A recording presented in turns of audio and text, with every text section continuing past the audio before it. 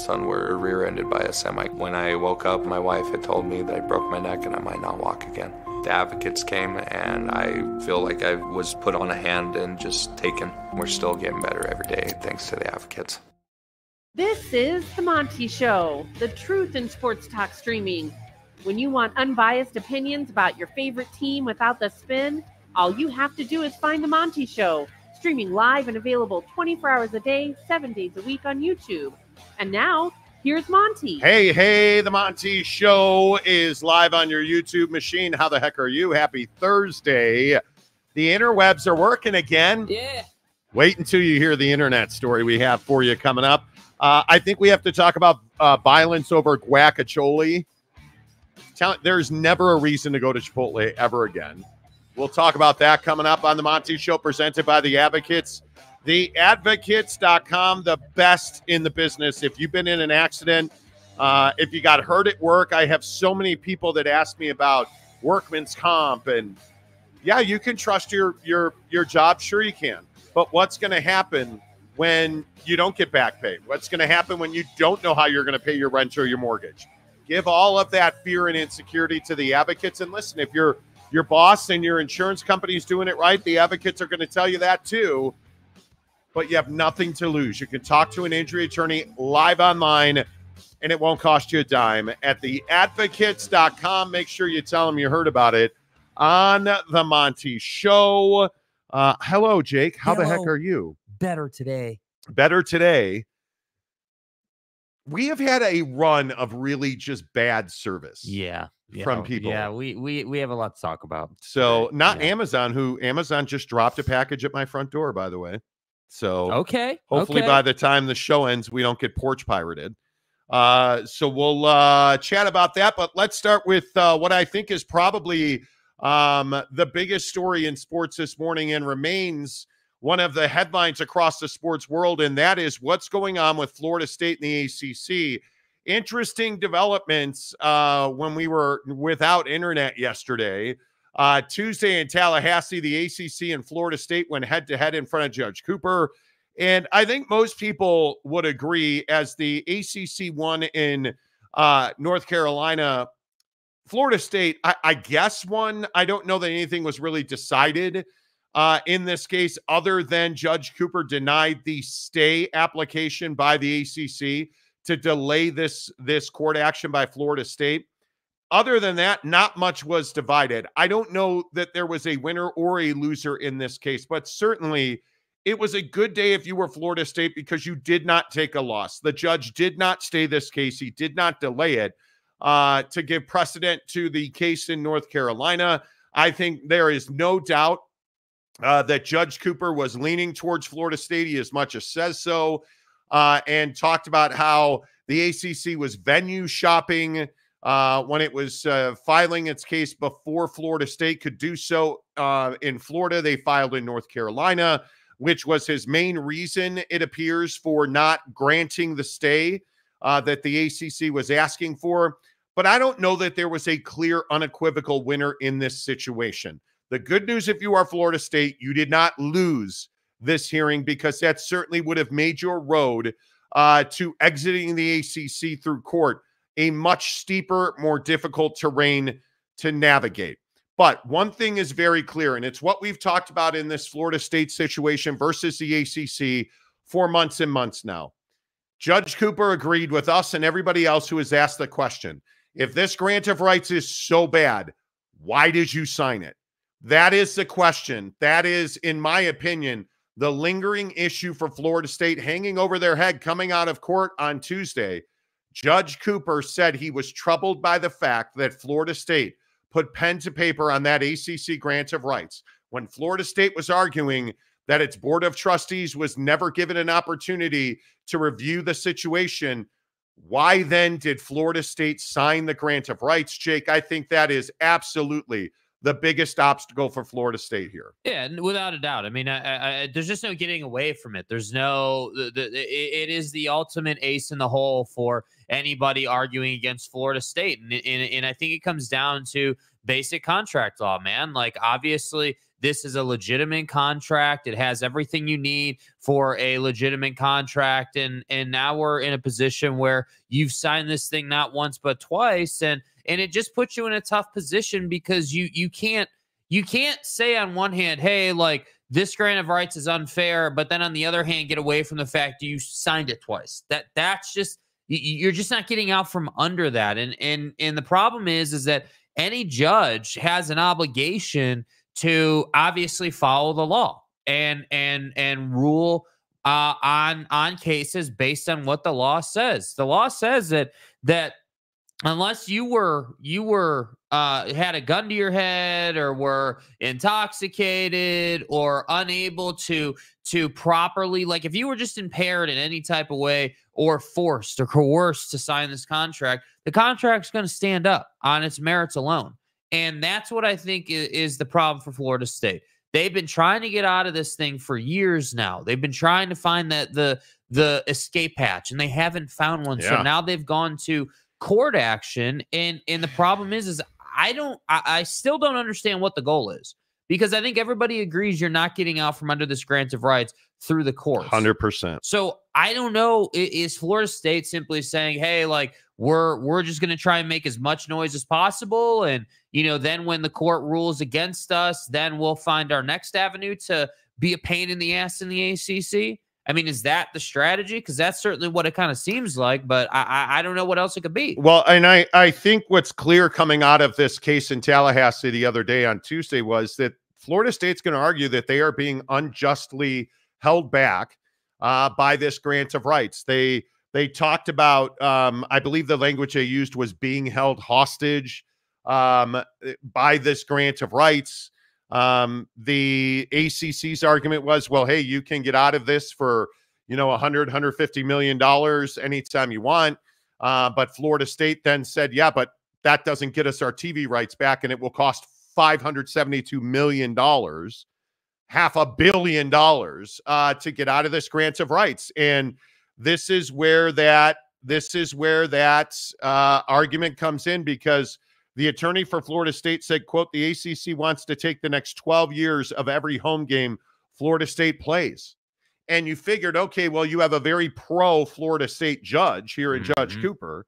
You would think that that would resonate with the judge, but this is where that question of what did you do? Why did you sign this? And Cooper said that he sided more with Florida State. He made that very clear uh, when it came to the issues of the grants of rights, but said, I side with Florida State, but I cannot understand and I am troubled by putting your signature on that piece of paper. And I don't know how Florida State gets away from that because I also think there was another really interesting moment when the ACC attorney argued, You've been profiting from this grant of rights for 13 years. And the judge said, Well, yeah, that would be true. Uh, and that would be a relevant argument if you were asking for damages, if you were asking for repayment, which the ACC is not. The ACC is simply saying, We want this grant of rights upheld. So it's a really interesting back and forth. And I, I think it is I think it's really interesting that you're just now making this argument in front of a judge on something that you signed 10 years ago. Well, and I think the terrifying part is like you've still got, you know, 11 years on this grant of rights left. Like, like obviously for Florida State, you know, in their, you know, when you have their opinion, like it, that's a long time, man. I mean, when when you're of the opinion that you're suffering and you're being held hostage, 11 years feels like feels like a long time given all the change we're seeing in the sport. But again, I, I it's hard for me to feel sorry for Florida State because of the decision that they made. And, yes. and, and, the unfortunate part is the excuse of, well, everybody signed it. It was it was the accepted amount at the time, but the the term is too long. And it's like, well, why didn't you make that case before? Where, did you not have the foresight to see that that yeah, you know, TV partnerships and the game is going to continue to grow like that was never some trade secret. It's very obvious that that those valuations are going to continue to grow. So it just I, I, that's why I say when you really get down to the core of this issue, the question becomes what is Florida State trying to do? Because it seems very clear Yeah. they're not getting out of the grant of rights through the court, even when Judge Cooper is like, hey, yeah, I agree with you that the grant of rights is heavy handed and it puts you in a bad spot, no question about it. But I also have to look at the law and say, hey, you signed it not once but twice, man. Like, and I think it's also very telling that the judge no commented essentially did not speak to the argument Florida State was making that they are no longer in the decision making process when it comes to ACC policy. And I think that's a very interesting no comment, if you will, from Judge Cooper, um, who was happy to comment and, and say he was favoring Florida State's position on many things. But how can you legitimately argue that the ACC should allow Florida State to be part of future policymaking when they are so passionately and publicly trying to get out? And I understand why Florida State made that argument in front of the judge, but I think it's really telling that the judge did not have much of a, a feeling on that. That's what I'm saying. It's almost like the judge, like because he's a pro Florida State judge, like empathizes with Florida State and understands Yeah. how they feel and and why they feel the way they feel. But it's it's he he's being held accountable by the law. He I mean he's not he he can't as a judge just overlook the fact that you signed the document and you chose you made a a conscious decision. You didn't have a gun to your head. You weren't impaired. Like there were no issues when you signed it. You made the decision to do this and now you want out and that's not how the world works because again if you if, Yeah. if let's say the judge were to to go yeah you know what i'm going to go against the grain and and say that they should be allowed out do you understand that that that that basically undercuts contract law for every contract law case there's ever been i mean if you start to think about it you're like yeah if he does it here where else could we have done it like you can't set that precedent And I know this inflames Florida State fans every time I say this, but this is no different than buying a house. It's no different than buying a car. Just because just because you have buyer's remorse and you feel like you're not making the money that you deserve or that your competitors are making, that doesn't give you the right to tear this contract up. And it was very clear when you signed this document that it was going to cost you $572 million to get out. And it's the argument they continue to make in court that that's arduous. Well, sorry, man, buyer's remorse does not does not work here. It's a contract. yeah And the judge and and I will continue to pat myself on the back. I'll dislocate my shoulder if needed. You were not under duress when you signed this contract. Facts. You did not have a gun to your head. You did not, you were not under the influence. You signed this contract and for 10 years said nothing about it. Well, and I think to that end, there was a, an article that came out recently that talked about the fact that you know Bobby Bowden, uh, like ten years ago or whatever, did an interview where he talked about how, hey, like, if, do you remember the original reason why Florida State went to the ACC versus the SEC? Because they had a choice. If you go back and you look, they had a choice from the, when they were leaving Independence, what conference they were going to join. Yes. And the choice was the SEC or the ACC. Bobby Bowden himself said, Hey, we went to the ACC because we knew that it was the easier path to go out and win a national championship. We knew that the ACC was not as competitive as a conference as the SEC, even at that time. So, what's so incredible to me is that your very position in this conference is based on the fact that you wanted a free pass to a national championship and now it's not working out for you. Yeah, I think, and and on the screen is what you're referencing here, um, where essentially Bobby Bowden told Paul Finebaum in 2015 that he felt, quote, it was too difficult to win through the SEC uh, to win a national championship.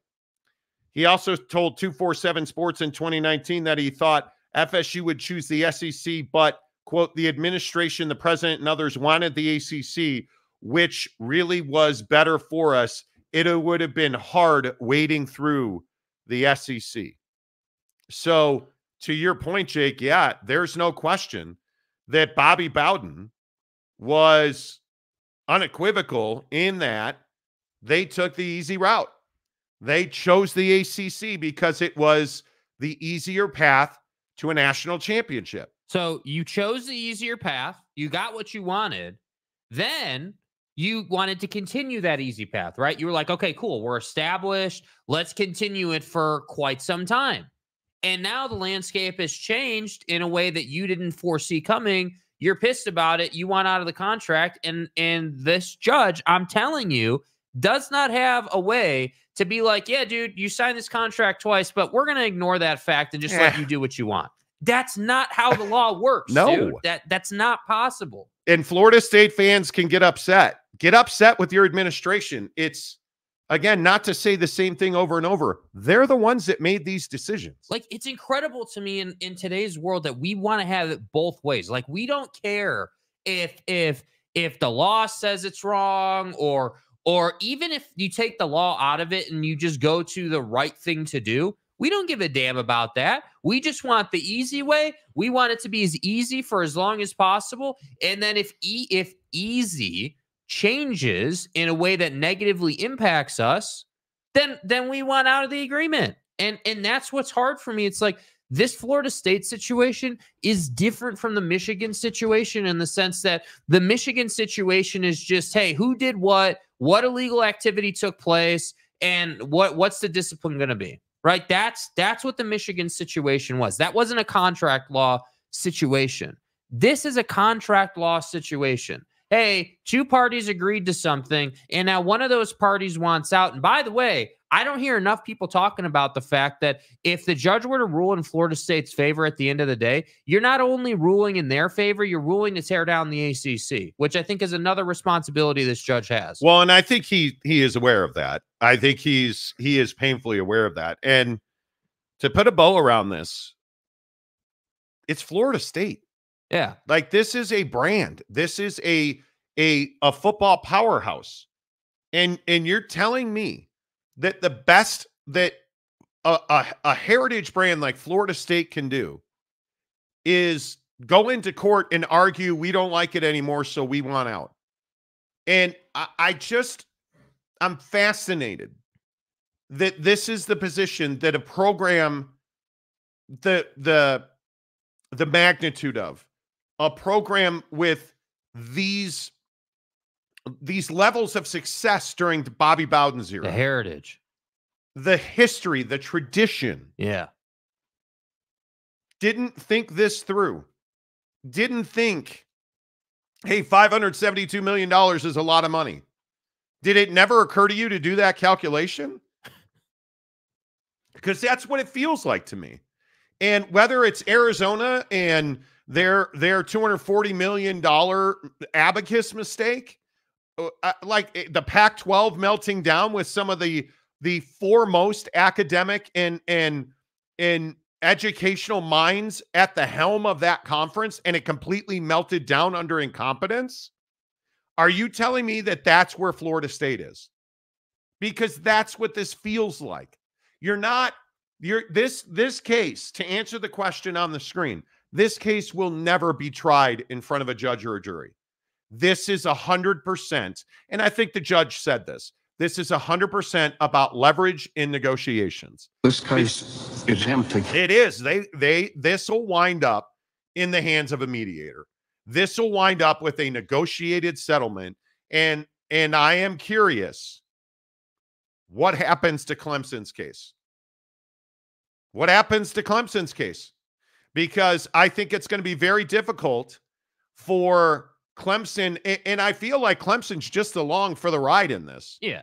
and it's going to be interesting to see how that situation works out.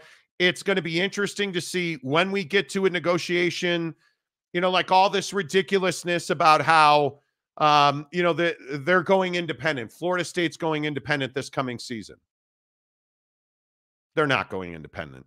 They're not. You're not getting out of the ACC to go independent. Well, and I think the issue is is that this whole situation puts the ACC in a spot where where where they're they're not incentivized to help you. And, and I keep saying this, but like you're not doing yourself any favors if you're Florida State to get what you want by trying to bulldog the ACC in a courtroom, right? Or by trying to use the courtroom for leverage because the concept of leverage here doesn't really exist. What leverage does Florida State really have? Right? In order to have leverage, you got to be able to say, "Hey dude, if you don't do A, B is going to happen." Well, sorry Florida State, you don't really have a B or an A. That's the issue. And so when I when I think about a, a mediator situation and these two sitting down at a table and figuring it out, for the ACC, there is no best case scenario when it comes to Florida State because if they get out in any form or fashion, right? Let's say you got out and you paid a fee and Florida State retains its TV rights. Do you know what that does to the ACC? Do you understand that that puts the ACC at incredible risk because now we have precedent to get out of the grant of rights. Now it's like, okay, well, AC, the Florida State did this to get out of the grant of rights. Yeah. We're UNC. You really telling me that we got to pay, we got to pay and do as much as they did? I think if Like- Florida State winds up, I mean, I mean, if we're talking about, if we are talking about moving other members, the longer this goes on without resolution, the better it is for Florida State. Because the longer this goes on, the Notre Dame's, it, it really, what are we even talking about? North Carolina, Mm-hmm. because I think again this conference lives and dies on Tobacco Road. Uh, the longer this goes on, North Carolina, North Carolina State, other influential members, which I don't think Clemson is one of, the Dukes of the world, then the Notre Dames, then the that's when they're going to start getting antsy. And I that's the problem for Florida State with this ruling, if you will. It's awesome that the judge said, if you're Florida State, it's awesome the judge didn't delay the this movement by Florida State. Great. I'm all I'm all about that. That's a win. The problem is he sided with the ACC on the fact that Florida State signed this contract. Get to to negotiating. Get to a settlement. Move the ball down the road. That's if you are Florida State, you only have two options. You don't want this to go to court Mm-hmm. in my opinion, in other people's opinions, I've asked about this. They can't go to court and win a contract argument. They just can't. There's no way that they're going to be able to win a contract argument. And all this is is leverage at the the the mediators table. That's all this is. So get about your business. If you are really serious about bringing an end game to whether it's just your situation in Tallahassee or the ACC in general, get to it because the longer this goes on, the worse it is for the ACC, in my opinion. Yeah. Because I think if if this lingers through the summer, at some point North Carolina is going to have to move. At some point, because they're already trying to churn. They're chumming the waters, if you will, calling, talking, trying to form alliances in this conference. And I have to believe now that they already have a plan. I think 99% of this is already been talked about and, and mapped out. It's simply a matter of what's going to trigger people to move and in what direction will they move. Yeah. But it, it's plain and simple. It is, it is just as I don't think this is complicated. I think in so many cases in this life, we try to make shit complicated. This is really simple. Well, and the contract is the purest form of that, right? Like it's not complicated. It, the contract says what it says. It's got everyone's signature on it. There was an agreement that took place. Like don't don't confuse this. Florida State agreed. They said, "Yes, we agree to this." Not once, but twice. You're not getting away from that.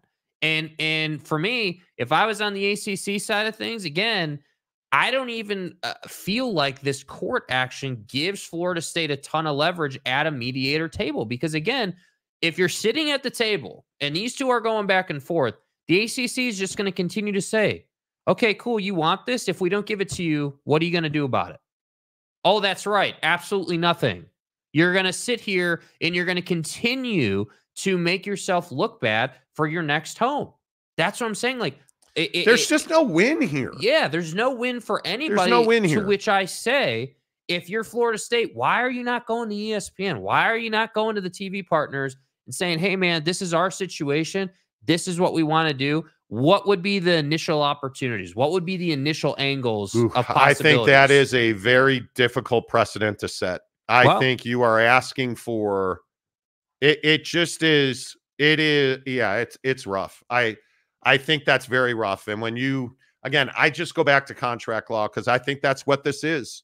And I think when you look at what Florida State agreed to, um, a long-term grant of rights that brought them stability that they have profited from, and I think that's why uh, it's not accidental. What is what is the ACC's position?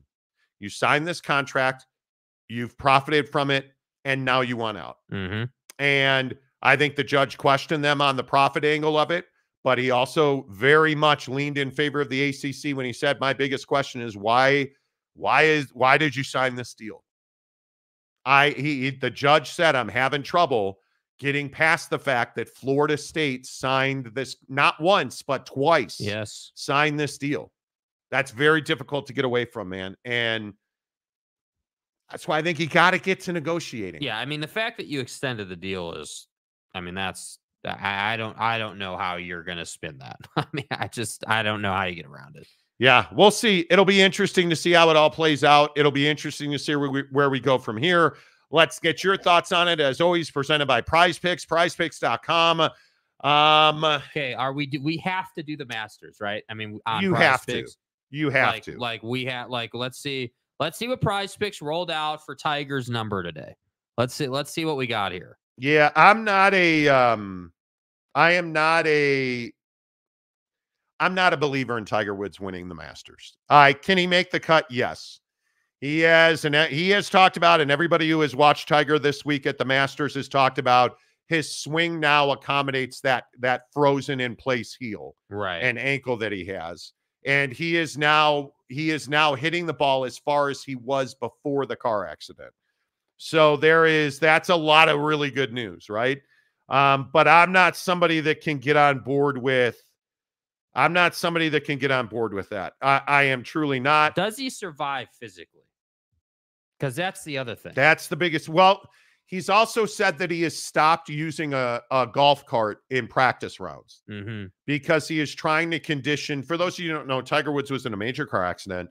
Um, his right ankle is fused. It does not bend. It does not move. Uh, it is locked in place for the rest of his life, or as long as he has that ankle. And it creates a lot of problems. One of the problems it creates is it creates significant knee and calf pain. Um, as he walks more, um, he he has significant pain and it impacts his ability uh, or previously it has impacted his ability to play 72 holes which is what which is what you're doing right? You're playing four rounds of 18 holes.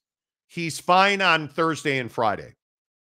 It's at the end of saturday that he is really unable uh to continue forward he says that he has changed his fitness regimen and you know he is a voracious uh workout guy Yeah. uh he is somebody that trains multiple times Do a you day even lift? and he does he has trained uh hard to be able to walk for 72 holes of golf he has uh stopped using a cart when he's preparing for a tournament now um because what he had been doing is playing golf not competitive golf but playing practice rounds using a golf cart now he has stopped doing that and it's forcing him to walk more Well, and I think people are like, oh, well, Monty, it's just golf. You're just walking. What's the Yeah. big deal? Well, when you have a frozen ankle, a fused ankle, which is Yeah. what Tiger has, the Achilles, the muscles in the bottom of his foot.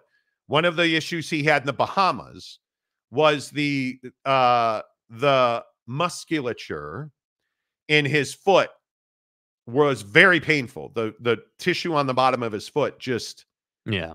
I think he he likened it to walking on glass. Every step was piercingly painful. Um, I I, I don't know how you fix that, right? Uh, so Well, it just sounds like a situation for Tiger where, you know, again, this is a guy who's 48 years old now, you know, so obviously he he he's not incapable. I mean, his body can still do things, but I think that at that age when you're playing professional golf and you've played the amount of golf he's played, you have to give your body the chance to ramp up and you have to to say, "Hey, okay, If I if I'm going to be able to walk 72 holes, I got to do that in practice. I and, and probably what he should be doing, and I don't know, maybe he is. I have no idea. But you should be training for like five days in a row, right? Hey, like let's walk 18 holes and build up to that and teach my body how to get comfortable walking that far. How to deal with how this. to deal with this because you know again when Tiger when his body is there for him, he's going to be competitive. I'm with you. I don't think that this is a guy that's going to win the Masters this year. Best case scenario for me is a top 10 finish. That's best case, all world, everything's perfect scenario for Tiger. Would be a top 10 finish. He looks good. Like maybe the putter comes get comes alive during the weekend and he picks up some strokes. Like that would be best case scenario. But I think this Masters needs Tiger not to flame out on Friday. A hundred percent. Like this Masters needs Tiger to go through it. Because what I think he is gonna needs to play the weekend. dude. What I think is going to happen, not to go off on a whole thing about the Masters here, but I do think Scotty wins this Masters, and I do think that that the the tournament itself to keep the heat needs Tiger at least in contention Within Like, 10 shots of the yeah, lead. like you need to be at least reasonably competitive. All right, here's what I have on prize picks, prizepicks.com. Uh, make sure you download the app, use the promo code Monty, M O N T Y Monty, to get 100% deposit matching, uh, which means you put in 50, they'll give you $50 more, up to $100. So you can put in $100, they'll give you 100 more. It's one of the best deals in, in fantasy sports. Hook it up, prizepicks.com. So the the way that prize picks works, for instance, Tiger Woods today on strokes is 74 and a half. You simply have to say he'll have more than 74 and a half strokes or less than. I'm less than 74 and a half strokes for Tiger today. I am less than 72 strokes for Rory McIlroy today. And I am less than 73 strokes for Justin Thomas today. Mm-hmm. Now, I tell you every day, my formula on prize picks is really simple three selections. You take three selections NBA, Major League Baseball, golf. You can mix and match. You can play all golf. I'll have all golf today, and then I'll have a baseball, basketball one as well. I always play flex. So I need three guys. I'm gonna flex play it, which means if I if I get two of three, um, I I win uh I win my money. If I get three correct, I win two and a half times my money. So uh, I am going to put up a $25, um, I'll put up a $25 uh, bet to win $56.25. And, and when you're doing golf, I would highly encourage you just to do a quick Google search for the course that they're playing that week and understand what par for a round is. So at Yes. Augusta National, par is 72. So when you're looking at prize picks for golf and it says 74 and a half strokes, what is prize picks saying there? They're saying, do you believe Tiger Woods is going to be two over or three over when he finishes his day? So I'm taking Tiger Woods to be two over, less than 74 and a half strokes, right? Whereas with Scotty, right, his number 71. So Augustus or Prize Picks is saying, hey, we think this guy is going to be one under or better. And I'm saying I think he's going to be two or three under, even with the conditions today. So Yeah. with golf, you got to look at that stuff and understand what the course par for the course would be. 100%. Eric and Raleigh, first one in today. You can't blame Florida State, though. FSU is absolutely correct to try and get out of the contract. Bit from a business perspective, absolutely. If I'm Florida State and I can, I probably hold Florida State in higher esteem than most people. I believe that Florida State is, it's akin to a blue blood, right? Like it is a, it is a behemoth program that should compete for a national championship every single year. Is this grant of rights a roadblock to that? It's not a roadblock to that. They have done a lot of damage to themselves. Poor coaching decisions. Jimbo Fisher, I think, was not good, in my opinion. Um, I don't. I think Norvell has done a, a an admirable job. Now you've got to build depth and and compete, right? And winning now is absolutely imperative but you sign that piece of paper. And I would be trying to get out as well, Eric. I, I agree with you 100%. Uh, Mike Smith, they will have the money because the money will not be the amount that the ACC wants. No, it will be significantly less than 572 million. I think they are going to, my opinion is There are only two outcomes here, and not one of them involves a judge or a jury. Mhm. The ACC melts down, or Florida State negotiates an exit, and then the ACC melts down. A- any way you like it, because if if Florida State winds up getting out, that's when, or if they get close, and what I think will happen is Florida State will begin negotiating. They will tell other partners in the league, "Hey, here's where we are," and the league will melt down because Florida State doesn't want to pay a penny. Right. That's ultimately the goal here. We want out and we don't want to have to pay for it. We don't want to have to abide by the terms of the contract we signed. That's where Florida State's at. Which is just incredible. hey, of but if you're going to fight, you might as well fight for your ultimate outcome, Yeah. right? Yeah. You chose violence. Okay, let's fight to the death then. I'm not paying you a penny. yeah, Great. I think you go to mediation, you get down the line a little bit, and you start leaking information. Hey, uh, Bubba Cunningham, North Carolina. Yeah, we're uh, right now we're in the 200 millions. We're in the 200 millions. Yeah, you know, we uh we've got it down to 175 million. Whatever the numbers are, let's say. Because Right. I think if you're at 572, if you're the ACC, you're probably willing to my guess is you're somewhere around 300 million. That's a number I've heard repeatedly that the ACC had settled for 300 million. More than half. Okay, Right. great. right. All right, hey, we're down to 400. We're down to 395. We're down to 360. You're just going to keep leaking that. And you are going to say to the people in this conference, you're not getting out for less than 300 million. Look at where we are. Let's all band together here, Notre Dame. Jack Swarbrick's gone. Let's all band together saying, here. dude. You're a TV guy now, Mr. Notre Dame athletic director, which he is. Uh, let's all band together here. I think that's how you find 10 teams to get out of this league. I'm, that's what I'm saying. If you're the ACC, you're not budging even a little bit. You're Nope. not. You're not doing a damn thing. And and and that's that's my. I wouldn't. That's my my point about the whole negotiating thing. What is there really to negotiate? Because the ACC is not going to move. No, I agree. Hero 75 for $5. Good morning, Hero. Good to see you. What was clear to me, the judge was telling both Florida State and the ACC to just go into a room and find a settlement, be done with it. I would agree with that, which is, again, I think not what Florida State wants. They want to they want to win a case. I don't think that any judge is going to want to hear this case, truthfully, because it's a no-win for anybody. And I think judges are smart about that mm, stuff. Yeah. And I think you are having a judge that sits down the street from Florida State's campus tell them, sit your ass down in- at a at a mediator's table and let's work this out.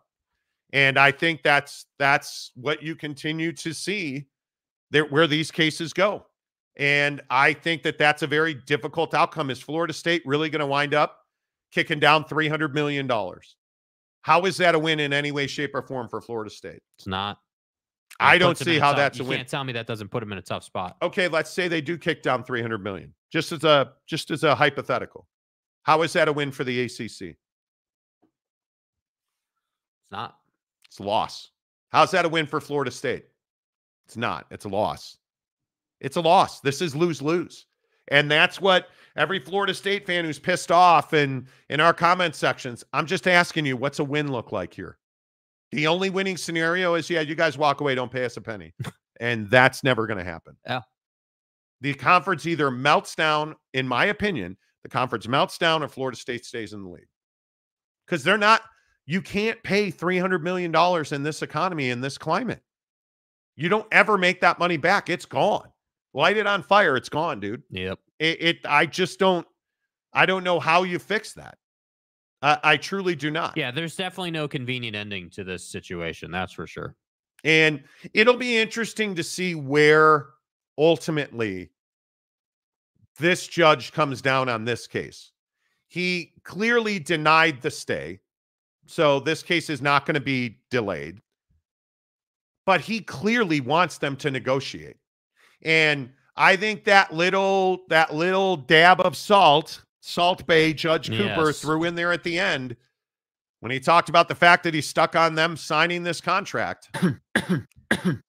go get in it, go sit down and talk about it. Because I think it's a not favorable. It's not a good outcome for Florida State. No. It, it truly is not.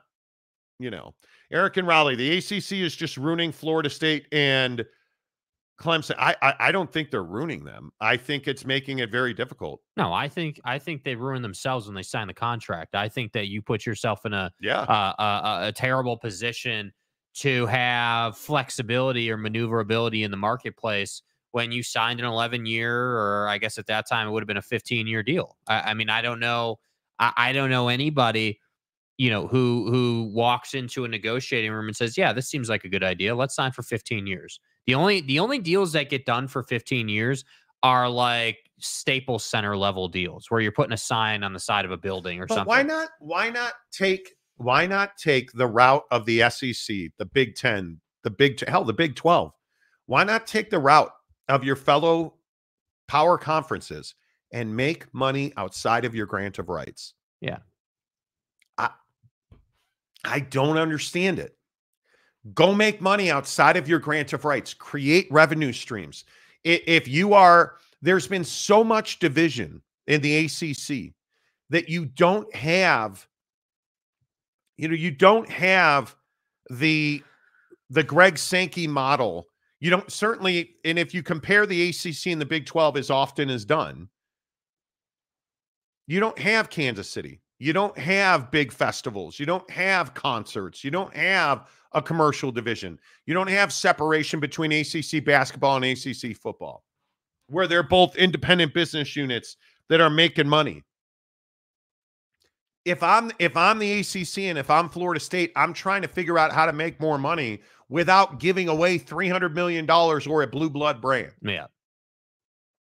But at this point there's so much vitriol about it that I, I just think we can't see the trees from the middle of the forest. And and I Florida State deserves better than the situation they put themselves in. Florida State fan deserves better than the situation they find themselves in. So what are you going to do to get out of it? Yeah. It's not pay $300 million. That's go directly to jail because you're paying $300 million, you are not winning on the field anytime soon. You are not. I, I just don't see. Yes, Mark Hales. Basic contract law says regret is not a defense. Yeah. That's exactly Yeah. right. that is exactly right. It, it- there's there's just no way to Yeah. There's no way around that. Uh, Luke Fletcher, good morning. Please keep in mind that Judge Cooper may yet determine this case needs to be heard in North Carolina anyway. I think he made his position on that pretty clear. Yeah. I don't. I don't I mean, see. When he talked, I believe the term he used was forum shopping. Yeah. Um, what that basically means is he's accusing the ACC of saying, "Hey, you went to a county," and he said you went to the county level instead of the state level, and you filed this in a place that you thought you could win.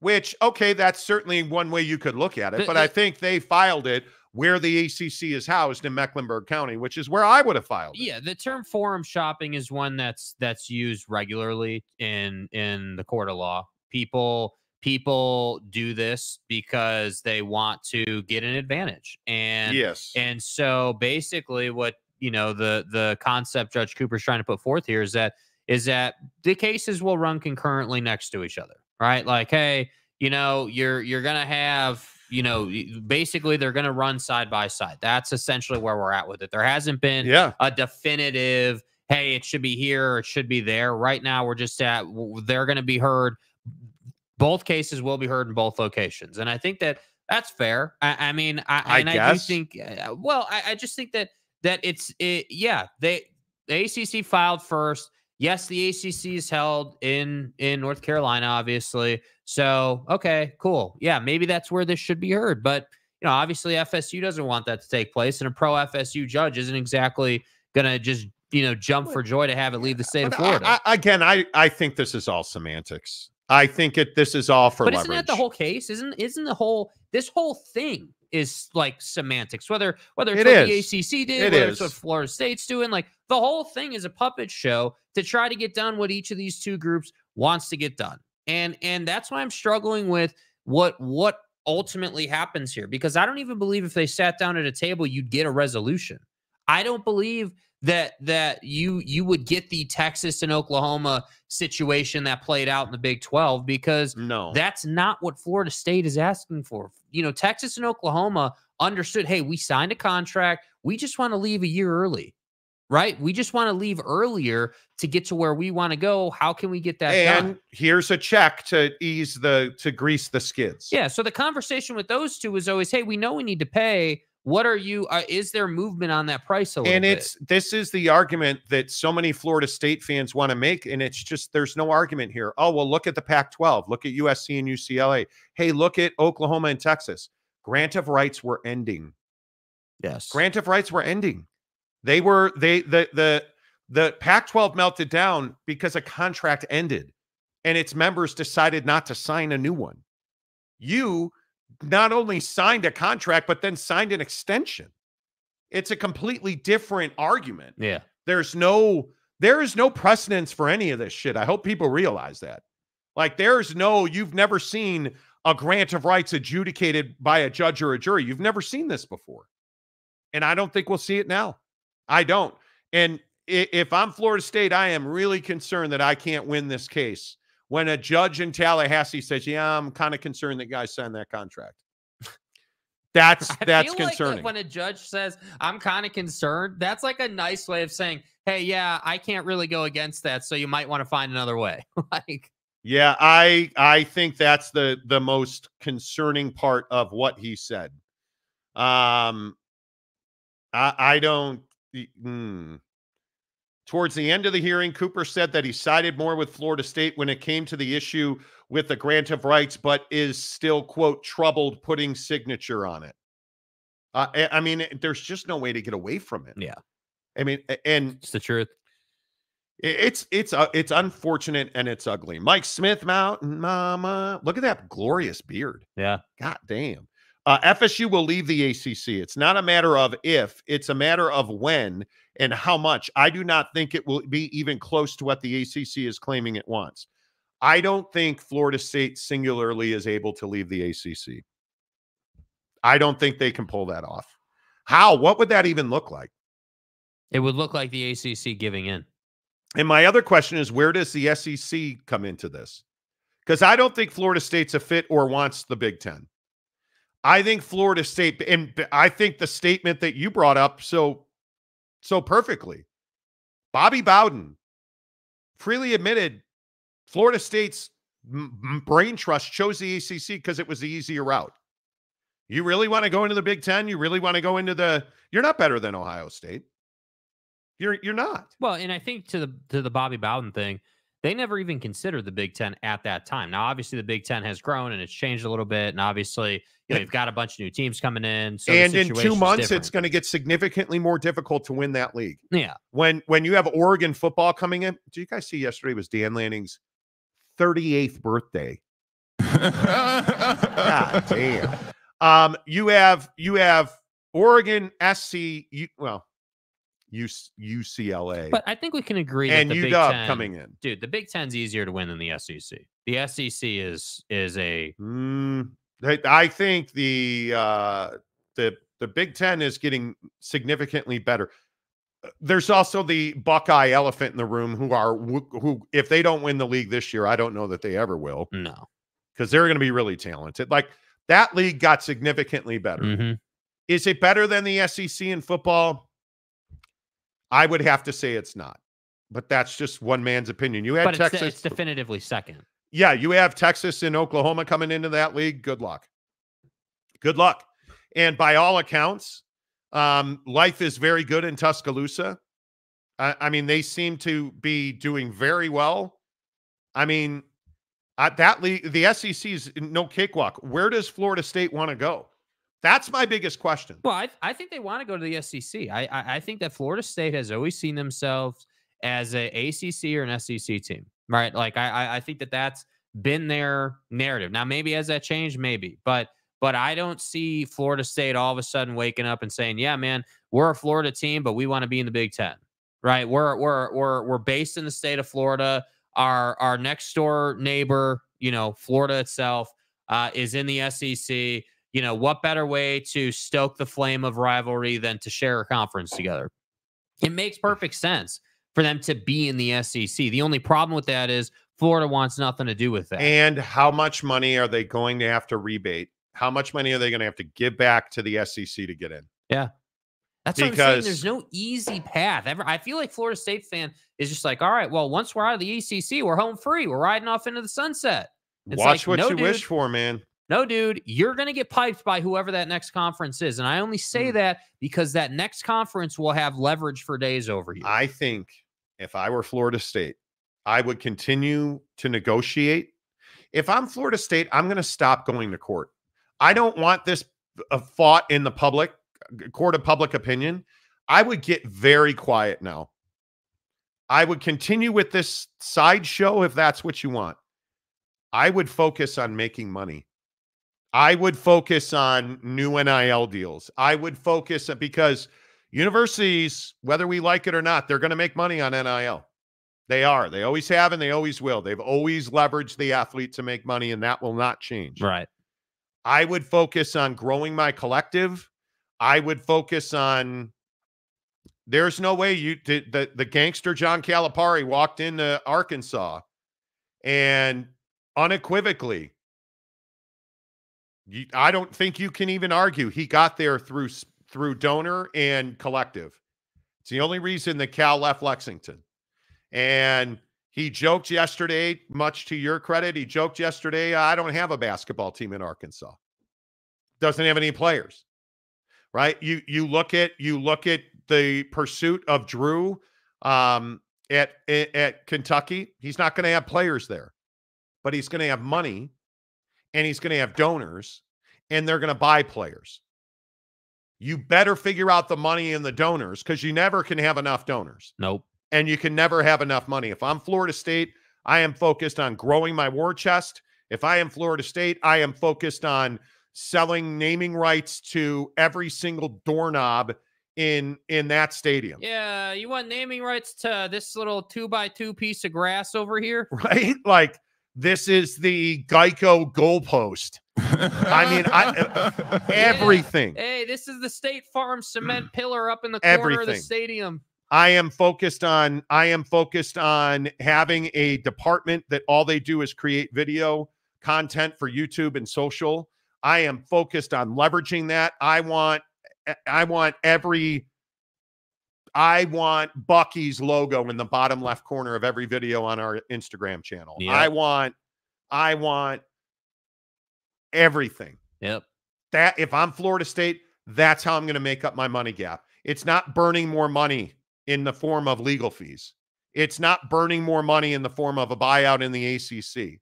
It's not burning more money because I, I thought this may have been Joel Klatt. Somebody said the other day, does Florida State think they're going to make more money the first five years in a new conference than they're making in the ACC? no. No. And the answer is they're not going to no. make more money in it. Whatever conference they go into, they're going to take a write down. They're going to be they they are going to be a, a quiet partner, and it's going to probably take them five years to get into that league and be a full share partner. And if you win a national championship, maybe that accelerates the curve. But I think that's something you should very much pay attention to because I think this is this is not this is not going to be easy for Florida State. No. And I've just I'm sick for their fans because Florida State's got passionate fans, and you're going to have some suffrage here over the next probably three years. Because I think this comes to a head by kickoff, I would think. I would think this will come to a head by kickoff. We'll see. And I think you're mm, it's going to be very interesting to see what happens. Stepanik, good morning. Uh, do you think it would be easier for just the football team for Florida State?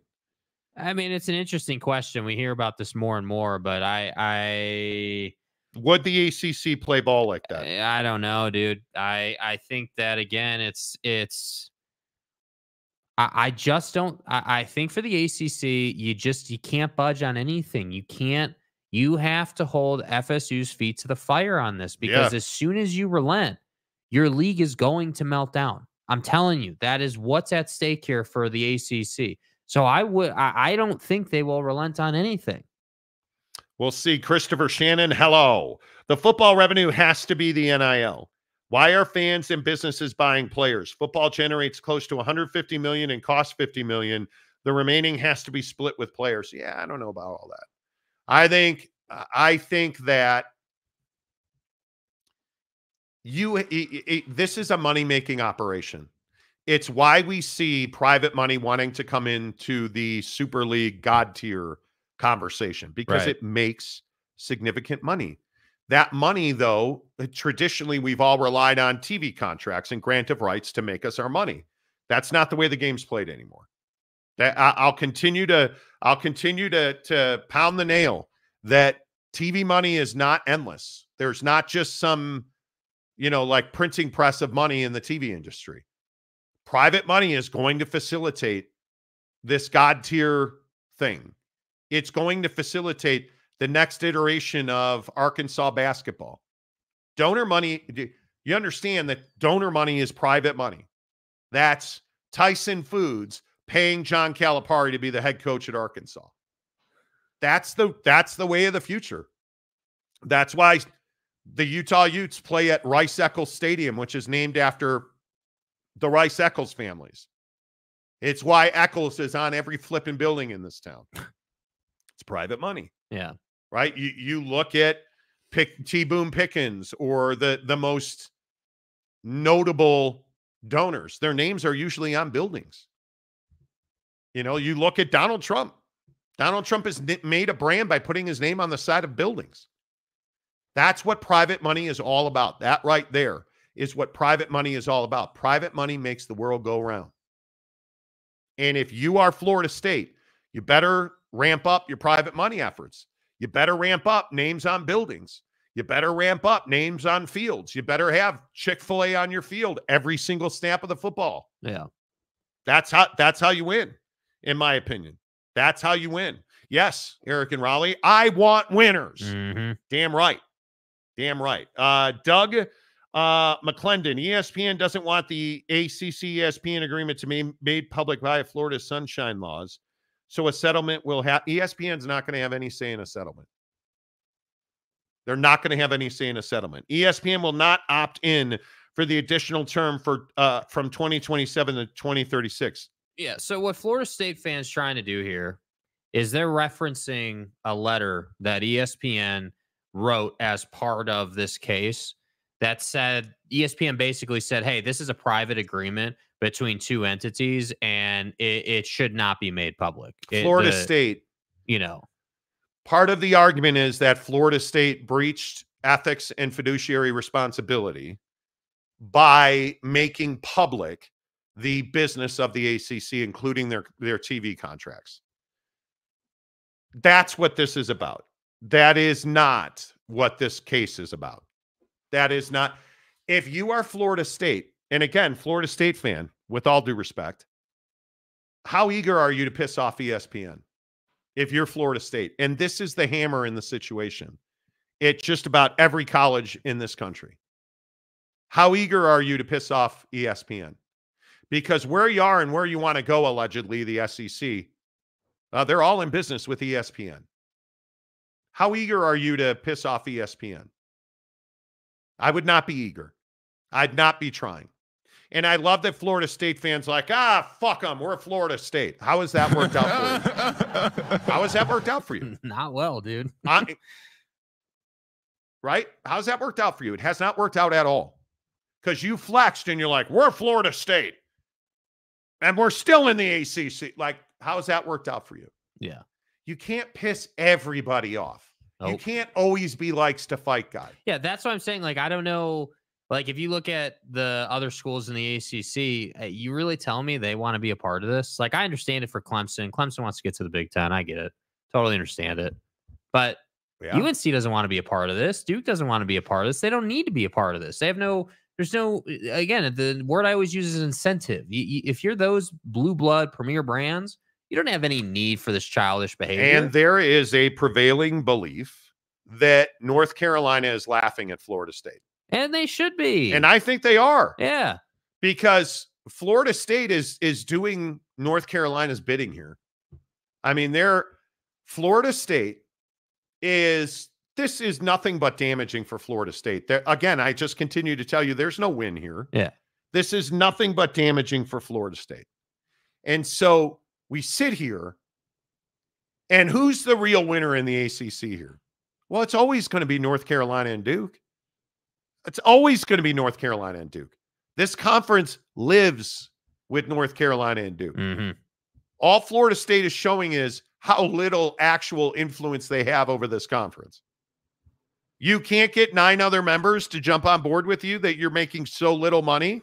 No, because you said they were all pieces of shit and you're the one that made the conference all this money and we deserve the respect and you don't and we're Florida State and and, I feel not. like people forgot that Florida State said that. They Florida Like- State has made the argument repeatedly that they're the ones that power the program. They're the ones that power the conference, and everybody else is just riding our coattails. How do you think that little sales pitch went over at Duke in North Carolina? Shut the fuck up, Donnie. That did not go over well. I'm telling you that right now. It it come on. Come on. It is it is what it is. Um let's see. Gumby fresh out. Hello. Gumby, hello. Damn, I miss you, dude. Uh the Monty Show Stadium at Florida State University. Right? Like I, I love the concept moving forward in college football specifically. It's like, uh, yeah, man, the uh, left goalpost is brought to you by Geico, and the right one's brought to you by State Farm. You know, Yeah. like it- it's every, and I get it. You got to make money. I totally understand it. But it, it's like the, uh, you guys remember the controversy in the NBA? I think it was maybe it was last year, or two seasons ago, where everyone was like, "Oh man, are we are are you know what's going to happen when they put jersey patches on the jersey. That's good. We're going to look like Europe now. Like, what the hell? Or like the NHL freaking out that they were going to put logos on the helmets of the players. Like, this is the wave. This is what people are doing.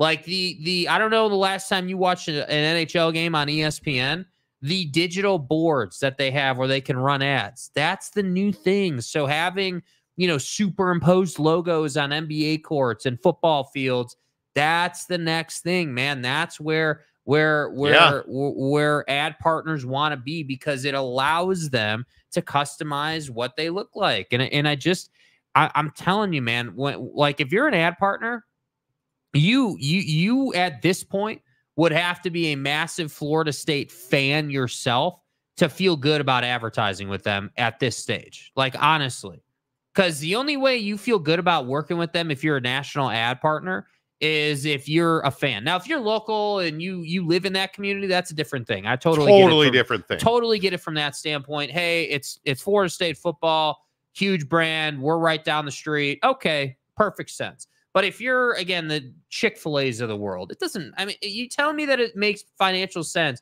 to invest in this program with the with the PR they got spinning around them right now. Not at the moment. I mean, I don't on. think so. OG Gary, a member for 13 Oh, let me pull it out for you, OG. Always rocking fly kicks in the Monty Show uh, members only Instagram group. I put in my speaking of Florida State flexing, I put in my uh, my Air Jordan 4 breads, put them on my feet for the first time yesterday. Cash. Cash. Uh, the ACC knows if they allow this door to be opened, it's going to start the implosion process. The ACC knows Florida State and Clemson aren't the only ones wanting out.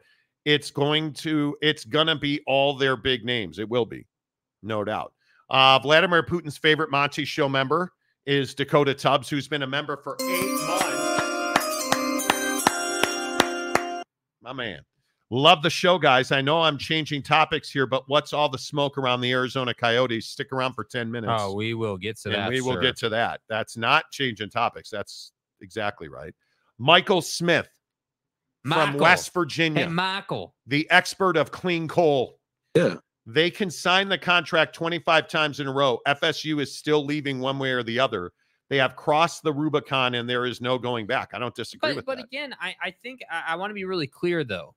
Like, yeah, you can say they're leaving one way or the other, but leaving without a fee and leaving where you got stripped of all your your character and integrity are two different things. yes. and and and leaving that conference having paid hundreds of millions of dollars to do so uh and then being unable to to schedule she and enable? unable unable unable is a word I think it is. Unable to to schedule and execute like like that's going to be an issue. So uh, i love you mike but be careful with this because it's easy to say well they're going to leave no matter what. Yeah they're going to leave at some point. Everybody agrees with that.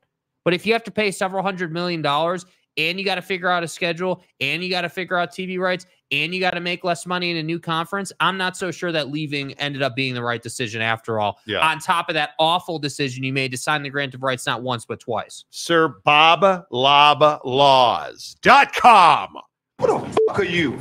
Uh, the goal line brought to you by Chico's Bail Bonds. Ah. Exactly right. Oh. Exactly right. Gumby fresh out. Average college football jerseys finna look like NASCAR. You see what I'm saying, dude? Like that's where we're going. Yeah, put Chico's bails, bail bonds on a on a Buddy's, jersey. Buddy's gonna have an ad sticker on his cleats. Yeah. Uh, welcome to the nightmare. Hello. FSU dogged their conference and now they need the members to join their fight to leave. Way to look like an ass. That's what I'm saying, dude. I think, and, and again, I just, if you're a Florida State fan, what's it going to take to get out? Let's come up with a really favorable number. What would a really favorable 100 mil. 100 million. 100 million. That's a favorable number, in my opinion. Okay, so you get out for 100 million. And so, you retain your TV rights. and you wind up in the SEC. Yeah. Do you think you're getting 100% revenue? Right at your the moment you begin as a member. What? Because the the the new SEC deal gets each school 50 a year. I think 50 is. plus, yes. 50 plus a year. So so right now Florida State is getting 40-ish, high 30s, I think.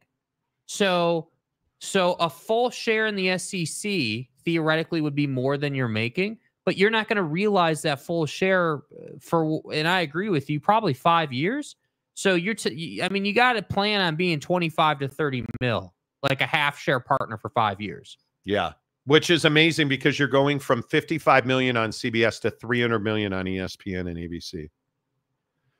That's a lot more money. Um, yeah, I think it is. But again, it comes back to this angle you've been saying for quite some time. Schools and conferences need to start making money outside of the grant of rights. yeah, Like, you have to do that. yeah, You even with a, a deal as as well off as the SEC's deal, jumping from 55 million per year to 300 million per year, that turns into a three billion dollar deal.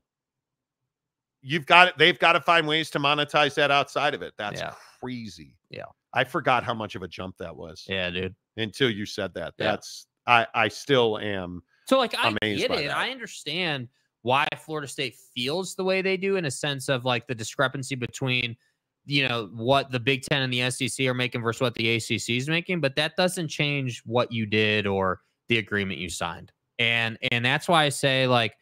I, I if you're the ACC again, I I would not budge at all. I would not negotiate at all because you can come up with whatever media, you know, storm you want to. Contract's contract, dude.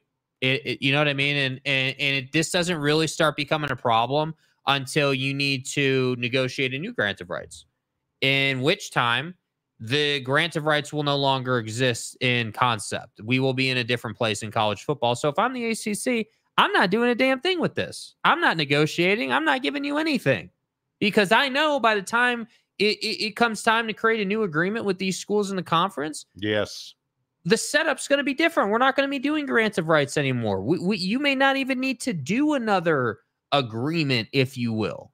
So, so that's why I say for the ACC, we should stop treating this like, like, oh man, the conference is auto going to melt down. I don't think that's necessarily true. They are at risk. They have exposure, no question about it. But it's going to require them to, again, here comes that word, incentivize people to be in your conference, right? Hey, why should you come be in the SEC even if you're a team that's never going to win the league? Oh, that's right, because you're going to make a lot of money. Yeah, we'll see. It- It'll be interesting to see how how much if you're a, if you are a let's say your total distribution per school top 70 million in the SEC, which I think it probably will. Right. After after everything's said and done. If you're Florida State, do you can you truly believe that you're going to get 100%? There's no way the SEC would allow that Yeah. why would they pay you more than they have to? There, there's just no reason to do that. Uh, Chrissy, hell no. Florida State got the upper hand in public in the public eye. They do. Um, they need to continue this lawsuit and get into discovery stage and see how far ESPN's willing to go. I don't think that. Okay, so let's. How does that play out? Yeah. Play let's out. let's go with this. Let, how does that play out? You're Florida State. and you're trying to leverage ESPN to get out of the ACC. How do you win on that? I, I'm just asking for a friend. You piss off and you burn your relationship with ESPN. How does that benefit you? Let's say football only. Where does ACC basketball live? That's right, ESPN. Okay. Let's say you wind up in the SEC. Who's got the SEC TV deal? ESPN. Okay, let's say you go independent, which you're not. But let's say you go independent because everybody hates you and your mom. Sounds like you're a good candidate for the CW. Like there's no like You this know. whole thing and I, and I continue to tell people when have you ever seen when have you ever seen one university leverage ESPN or ABC? Never. Disney. Ron DeSantis tried to leverage Disney. How'd that work out? Didn't work out. Hey, just out of curiosity, when did the tipping point happen with Disney? Yeah, when Disney said, "Yeah, we're going to close Disney World and we're going to move out of Florida." Mm. Oh, all of a sudden, my point is you don't leverage ESPN. You don't leverage the people that pay you. You don't burn your bridge with the guy signing your check. You don't do that. You, and again, let's say you wound up in the Big Ten. Is the Big Ten eager to sign a contract with Florida State uh, on any term? I don't think they are. Are you eager to when when do you, if you're Fox and CBS, do you want to get in business with Florida State, who just burned ESPN and ABC? Your partners in college football and the NFL? Somehow, I don't think you are. Like you're not leveraging ESPN. Yeah. I'm telling you, like everybody loves this. Oh, they want discovery. If you're ESPN, do you really think that you've co- like uh, all the Florida State fans? Discovery, bringing ESPN to court, bring them to the one guy They in the one guy in the ES uh, in the uh, YouTube comment section. We're gonna bring ESPN to their knees. Okay, and where's the win in that? Okay, the win is you get out of the ACC. Congratulations. What did you exactly win? Nothing. There's no bringing like I. Yeah. Anyway, uh Steve Stepanik, Ron DeSantis had his wedding at Disney, I believe. I'm sure he did. Gumby Fresh Out, FSU, PBS Kids. Yes. Eric and Raleigh. FSU has to want to go to the Big 32. I, I mean, how do you not try for the brass ring? How do you not? You know, uh, Gumby Fresh Out. Hell nah. To the nah, nah, nah. Hell nah. like, just bring the dancing uh, pallbearers out, right? With the, that's what we need. You know, I just I think it's funny. Mad Cat.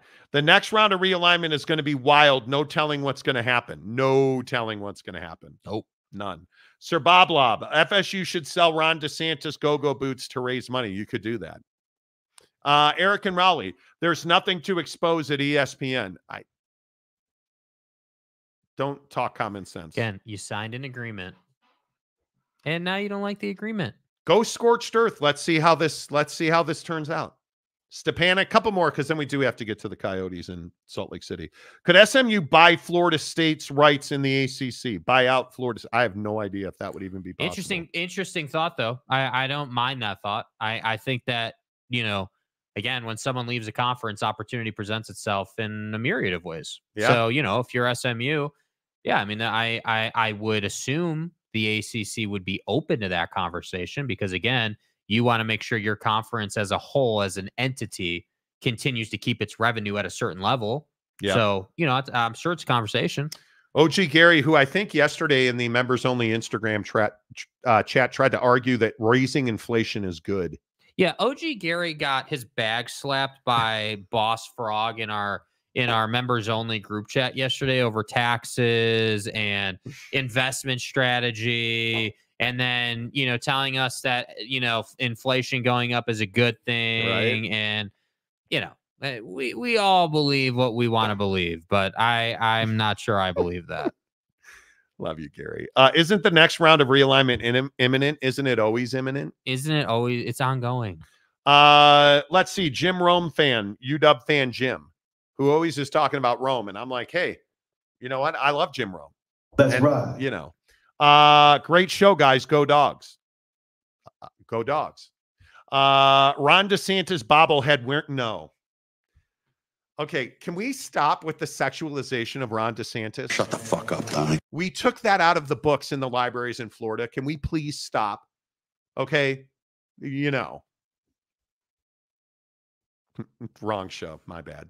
Sean Mirzinski. Hello. Florida State is a spoiled child who always likes more and more. I want more. And when they don't, they throw a tantrum. I, I, again, I don't believe that this is Florida State. This isn't. This is Florida State doing anything other than look at the guys down the street making more money than us. How are we going to make more money? Yeah. I think they look at the Floridas. I think they look at their competition in the Southeast and they see them making between 70 and 100 million dollars every year. And they're like, why can't we do that? And I say, I don't know. Why don't you go and do that? Instead of trying to get out of contracts that you signed not once but twice. Yeah. I don't think that I, I think at the the the very basic here, this is in my opinion, this is FOMO. You you have this massive fear that you're missing out. Yeah. And you chose to go to court to try and fix that, which I think was a mistake. What you should have done did is you should not have signed that grant of rights. You shouldn't have signed it.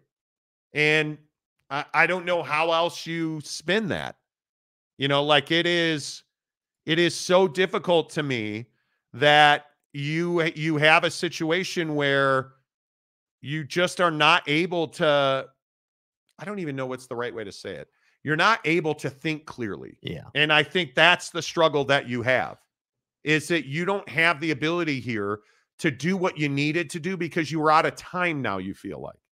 So if you are if you are Florida State, I think you're probably exercising the only option you have because you couldn't find now nine other members to get out of the, the grant of rights. 100%.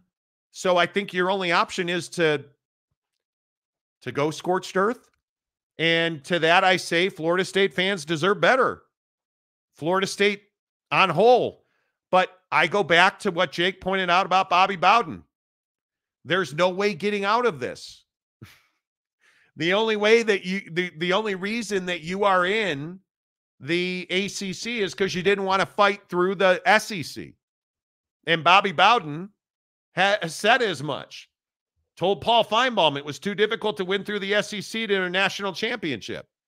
Told 247 Sports the FSU would choose the SEC, but the administration, the presidents, and others wanted the ACC, which really was better for us. It would have been hard uh, wading through the SEC. It's very difficult to argue that they took the easy route. And the easy button is always more expensive. I yeah. I will continue to tell people the easy button is the most expensive thing you can do. Is what it is. Couple more, then we got to roll. Uh, let's see. Bill G gifted 10 Monty Show memberships. Bill, thank you very much. Appreciate that. You know. Um, Eric Wasikowski, a member for four months. Okay, Eric, dude, please, please don't make an ass of yourself with this comment. Please Don't stare at my profile pic for too long. It's T O O for too long. So you've already done it. Okay. T O O. There's a difference between two and two. And two. Uh, and T W O. Yeah. Uh, it's been known to cause severe cases of TDS. I don't know what TDS is. Without protection after it unblocks the sun.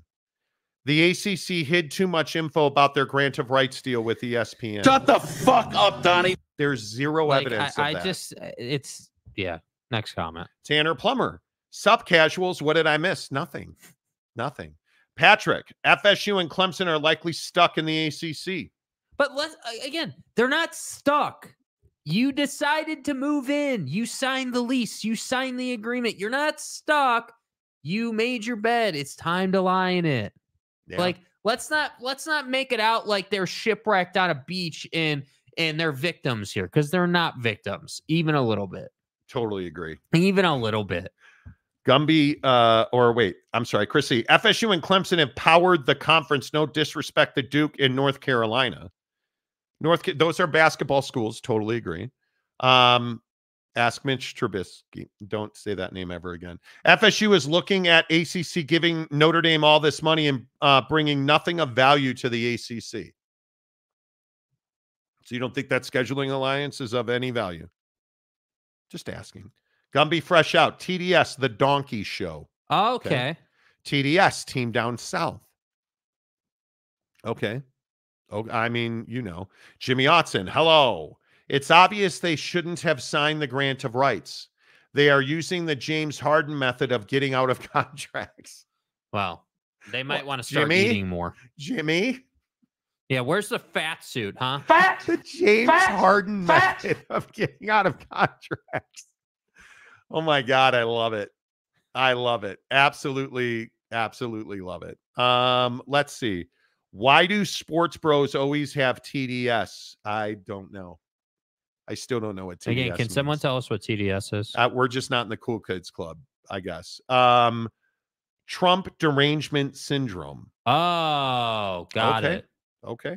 Lil Jizzy. Let's just hear what Retzloff has to say about it. Okay. Love our guy, Jake Retzloff. NE, hello. My favorite part was their lawyers saying the AD and presidents didn't have the right to sign the uh, in the name of Florida State, which was part of the argument. This this contract Oh, was money. never was never put before the board of trustees. Money. These fucking assholes just put their names on it and thought it was fine. Not thinking that's, the, you know, it's fine. Uh, Clippers versus Mavericks in the first round could be fun. Clippers can't stay healthy. Uh, you know, Eric and Raleigh, I'm stuck in a prison of my own making, Florida State University, Mm, to a certain extent. To a certain extent, there's there's no doubt about that. Cam Harrison, hello. All right, the Monty Show, as always, is presented by our good friends at Big O Tires and American Fork. Big O Tires and American Fork, your total car care experts. Make sure you find them on social. Big O Tires AF. Tell them you heard about it on the Monty Show. Let's talk about taxpayer dollars getting stuck up the ass of billionaires. All right, here's a question for you Is Salt Lake City an NHL town? Well, if you ask Ryan Smith, the current owner of the Utah Jazz, Salt Lake City in the state of Utah is clamoring for the National Hockey League. At least that's what he told Pat McAfee months ago. And now we know that the Utah legislature has approved a half percentage point raise to the sales tax in Salt Lake City so that consumers can give Ryan Smith, who's allegedly a billionaire, a billion dollars. That's what this is the equivalence to. On top of that, Ryan Smith now has what is believed to be an agreement in principle, a verbal agreement to move the Arizona Coyotes to Salt Lake City this coming October and have them temporarily play at the Delta Center where the Utah Jazz currently play less than mediocre basketball.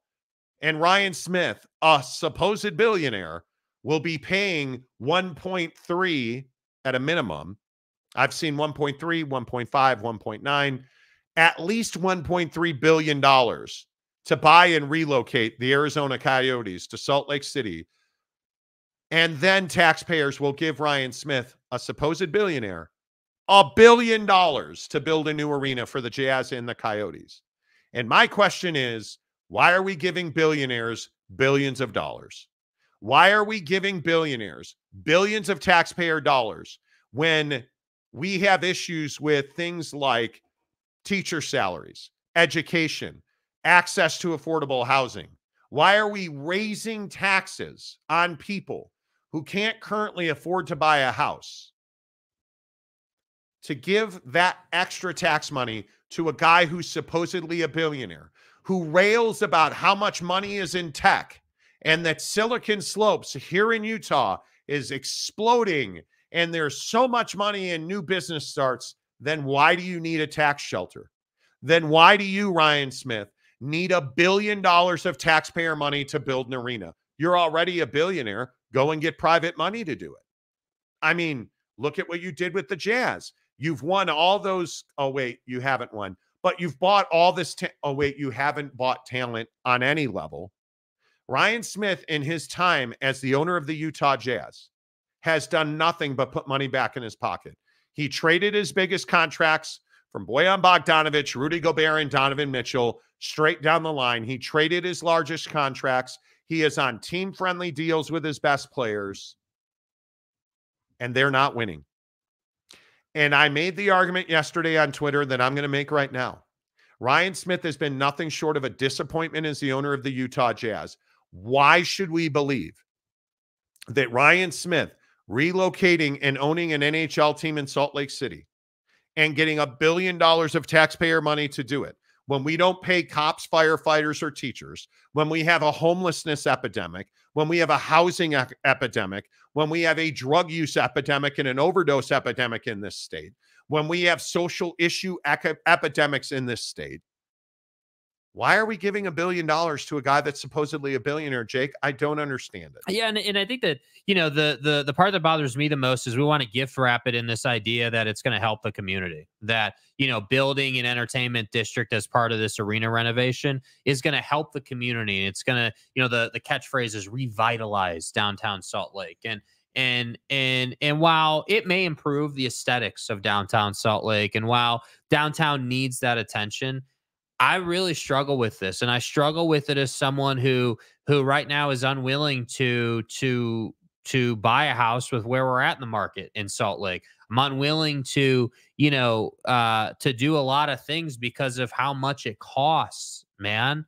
And and I tend to agree that I don't have a lot of faith in Ryan because of what has not happened with the Utah Jazz you know, uh, again, I always like to bring up the point that when Ryan Smith bought the Utah Jazz, the message was we're carrying the torch from the Millers. We're going to do right by the Millers. We're going to make sure that, you know, we we put a good product on the floor so when Gail's sitting courtside every night, she's got something entertaining to watch. And that's just not been the case. And more and more when I look at what the current state of uh the Jazz is and what Ryan hasn't done, dude, the Jazz went from being a, a, a, a, perennial playoff contender every single season for a minute, for probably five, six years in a row, to being a nobody, to not going to make the playoffs.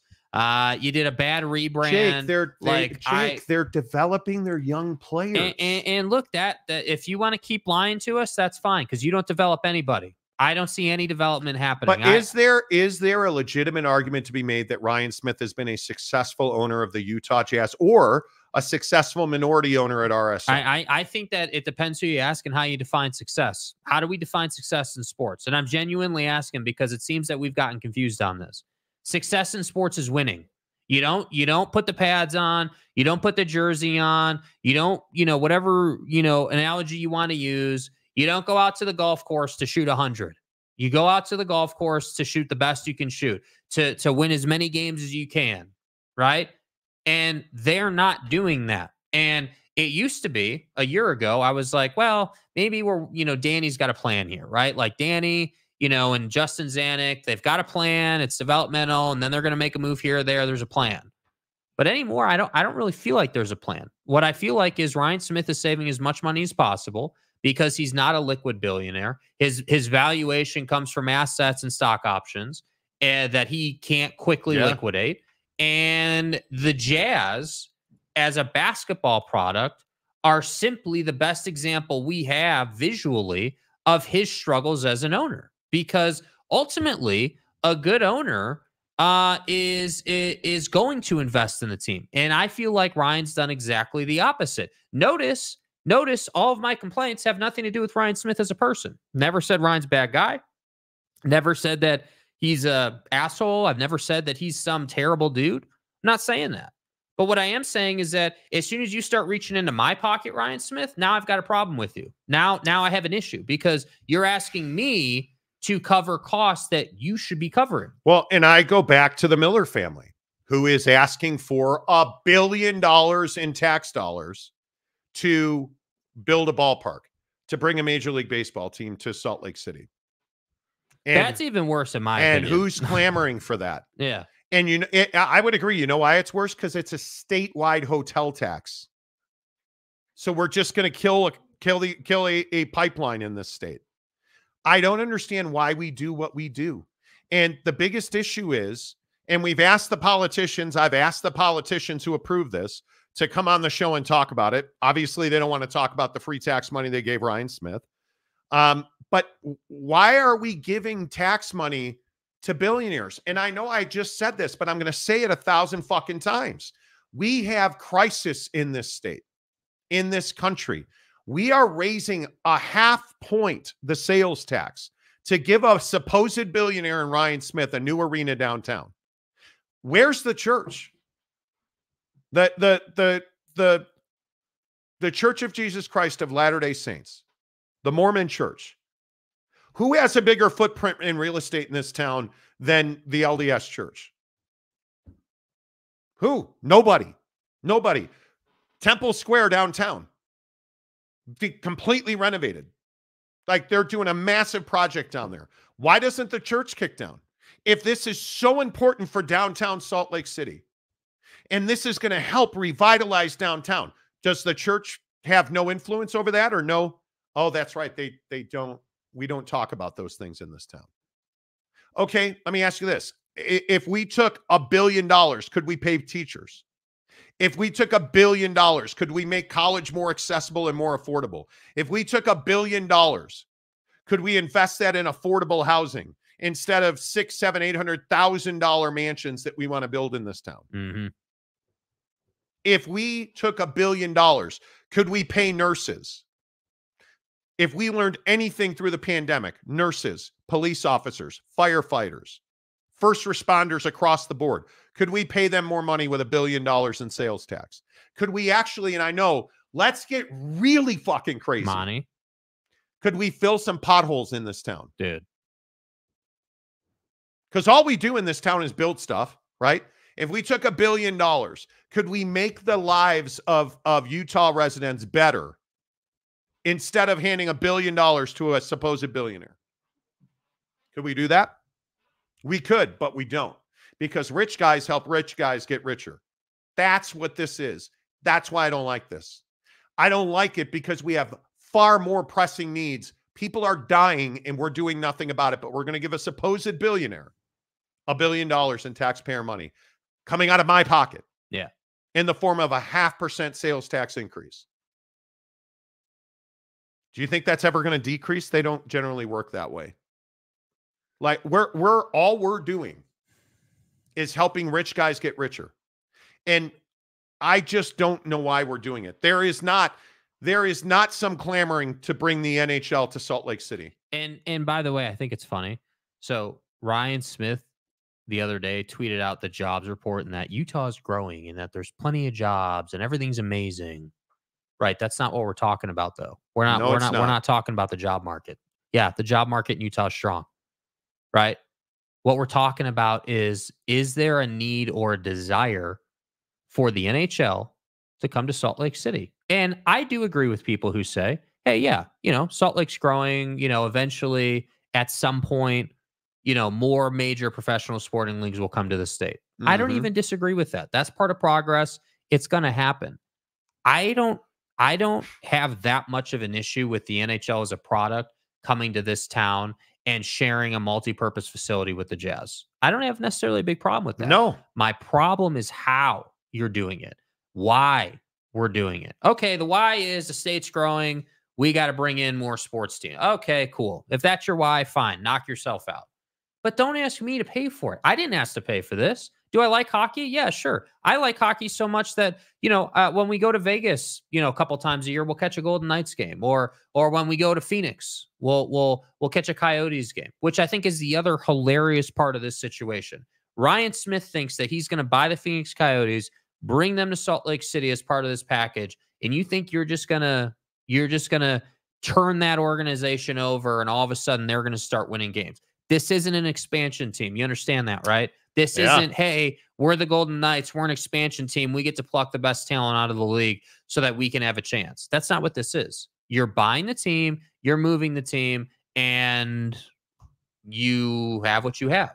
Last time I checked, Ryan Smith doesn't know anybody in the NHL. Last time I checked, Ryan Smith was a Utah kid who who who grew up as a Jazz fan and as a BYU guy, and that's how he was able to get in and position himself for the Jazz, right? So now all he's done here is said, Oh, I see an opportunity. Hey, I've been saving money, saving money, saving money, not investing in the Jazz, not giving a damn about doing anything positive with the Jazz except jersey rebrands and marketing Yeah. pieces. And now I see an opportunity in Phoenix where they need somebody who's willing to take a risk. Because make no mistake about it, this is the other thing no one's talking about. This is a risk. You understand that, right? What happens if you bring the NHL to Salt Lake City and it absolutely flames out?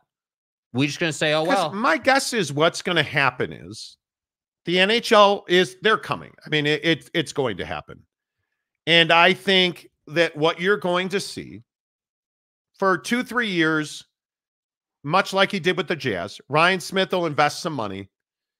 He they will likely they will likely win, and then what? And then what? because this has been his pattern so far as the owner of the Jazz. He's done nothing to invest in winning in, in the NBA. Nothing. And I think his entire angle here has been from day one to get a new arena. I think his entire angle here is to make more money, pocket more money for himself. My guess is he'll take the the Ricketts family who owns the Cubs and you know is investing in the PGA Tour and all this other stuff. But why did Chelsea Football Club fans reject the Ricketts as the new owners? Because they don't want what the Ricketts and what Ryan Smith do. Those guys will dump a bunch of money into a team, they'll win, and then they will pull the plug and they will profit take and they will pay off their debt. And those teams will suffer. We've watched it with the Cubs. We've watched it with the Ricketts. We're watching it with Ryan Smith. And Ryan Smith talks a good game. Hey, look at me, cool white guy. I wear my hat backwards. I'm a tech billionaire supposedly. I but golf. I, I I need a billion dollars in taxpayer money. And I, I'm I'm I'm again going to say, I love hockey. I'm a passionate Chicago Blackhawk fan. I I support the Utah Grizzlies. This is not a hockey town. It's not a hockey town. Is there any is there any question as to why just mys- mysteriously not having a great season on the ice? The Grizzlies are not having a great season on the ice. But yet they're touting massive ticket sales. How do you think that's happening? Do you think that's just their ticket guys out there kicking ass? That's not what this is. This is all part of a plan. This is all part of a hey, look, people love hockey in Salt Lake City. Because it's all part of the plan. And I I hope I am 100% wrong because there is nothing more than I would love Connor Bedard to come and play in Salt Lake City twice a year. When I was in Arizona, we had season tickets to the Coyotes. I love I love the game. This is not a hockey town. This will be this will be I'm telling you this will be the Atlanta Thrashers. This will be Yeah. This is not going to work. It's not going to work here. It'll work in the short term because it always works in the short term. Yeah, there's you always get that pop, right? Hey, there's a new thing in town. Let's go see it. Let's go check it out. but it's it's a billion dollars over what 30 years 30 years and you're going to make the argument that this guy who hasn't won dick since he bought the jazz who has not invested in the product on the floor at all you're going to make the argument that this guy belongs owning a new team and we're going to give him a billion dollars to do it And as part of that process, I'm sure he's How? going to get a handout from the Olympic Committee when the Olympics come back to Salt Lake as well, which is another reason he wants a new building. How? And I'm I listen, again, this is not I'm just truth telling. That's what we do on the show, much to the chagrin of Florida State fan. The truth is is very difficult to get away from. Yeah. This is not a hockey town. The young the youth hockey programs here are not booming. The the rinks are not plentiful. I just think even for the average person, I don't hear people talking about hockey, man. I hear them talking about football and the Masters and like Yeah. you know, a- and, again, in our members only chat, and I'm sure people are in the comment section vouching for this. Dude, it's not just us saying the Jazz suck and that they're unenjoyable to watch. Like, you understand that, right? Like, the garden variety fan, the the fan who's watched this team for five minutes, and also the fan that watched them for 30 years is like, dude, like, what are we doing? Like, what? Like, I'm just not in, like, again, I always reference it. Greg Hawkins two weeks ago straight up said in our members only group, dude, I've lost faith in Ryan Smith. This team is doing nothing. This team is scrimmaging on a nightly basis. And the thing I don't understand is how are we the only ones? Oh, I know how we're the only ones saying that. This is a guy that controls the media here. Mhm. So the media will tell you, oh man, this team is on the right path. It's I- not on the right path. Dude, I think your your angle about the church is spot on. So let me get this right. The church, the church owns KSL, right? But wait, wait. I want you to understand about the the church is the largest landowner in this state. You need to understand that. The Church of Jesus Christ of Latter-day Saints owns more land in this state than anybody and the land they own. And they just announced new LDS temples. And people are celebrating. So understand that the church who owns BYU and owns the most land of anybody else in Utah. That's who we're about to talk about. Understand the power that they carry in this town. As you were. Yeah, You're I, yeah, they they they own KSL, and I think what's really funny is is that every Sunday Ryan Smith sends out a tweet about something religion related about God or A passage. a passage, right? Like from from the book. And and what I think is so funny is that in Salt Lake specifically, um, there's a ton of hypocrisy with religion where Ryan Smith is LDS on Sundays, but he but he doesn't live up to LDS values when it comes to making money, right? Like if you think about the point my guy over here made about how where's the LDS church when it comes to revitalizing Salt Lake City? They're happy to revitalize their little patch of land in Salt Lake, right in downtown. Temple Square. Temple which is, Square. If, if you go, if you go on Google Earth, look at look at Temple Square, Salt Lake City. So they're happy to, to revitalize and renovate what they have, but they're not interested in helping the homeless. They're not interested in Helping the addicted. yeah, like they're not interested in in solving those issues. And why are they not investing? It, never mind. What is the LDS church's role in this? Ryan Smith is is he is LDS, Yeah. right? He's a Latter Day Saint. Um, Ryan Smith owns the Utah Jazz. He is a minority owner in Real Salt Lake.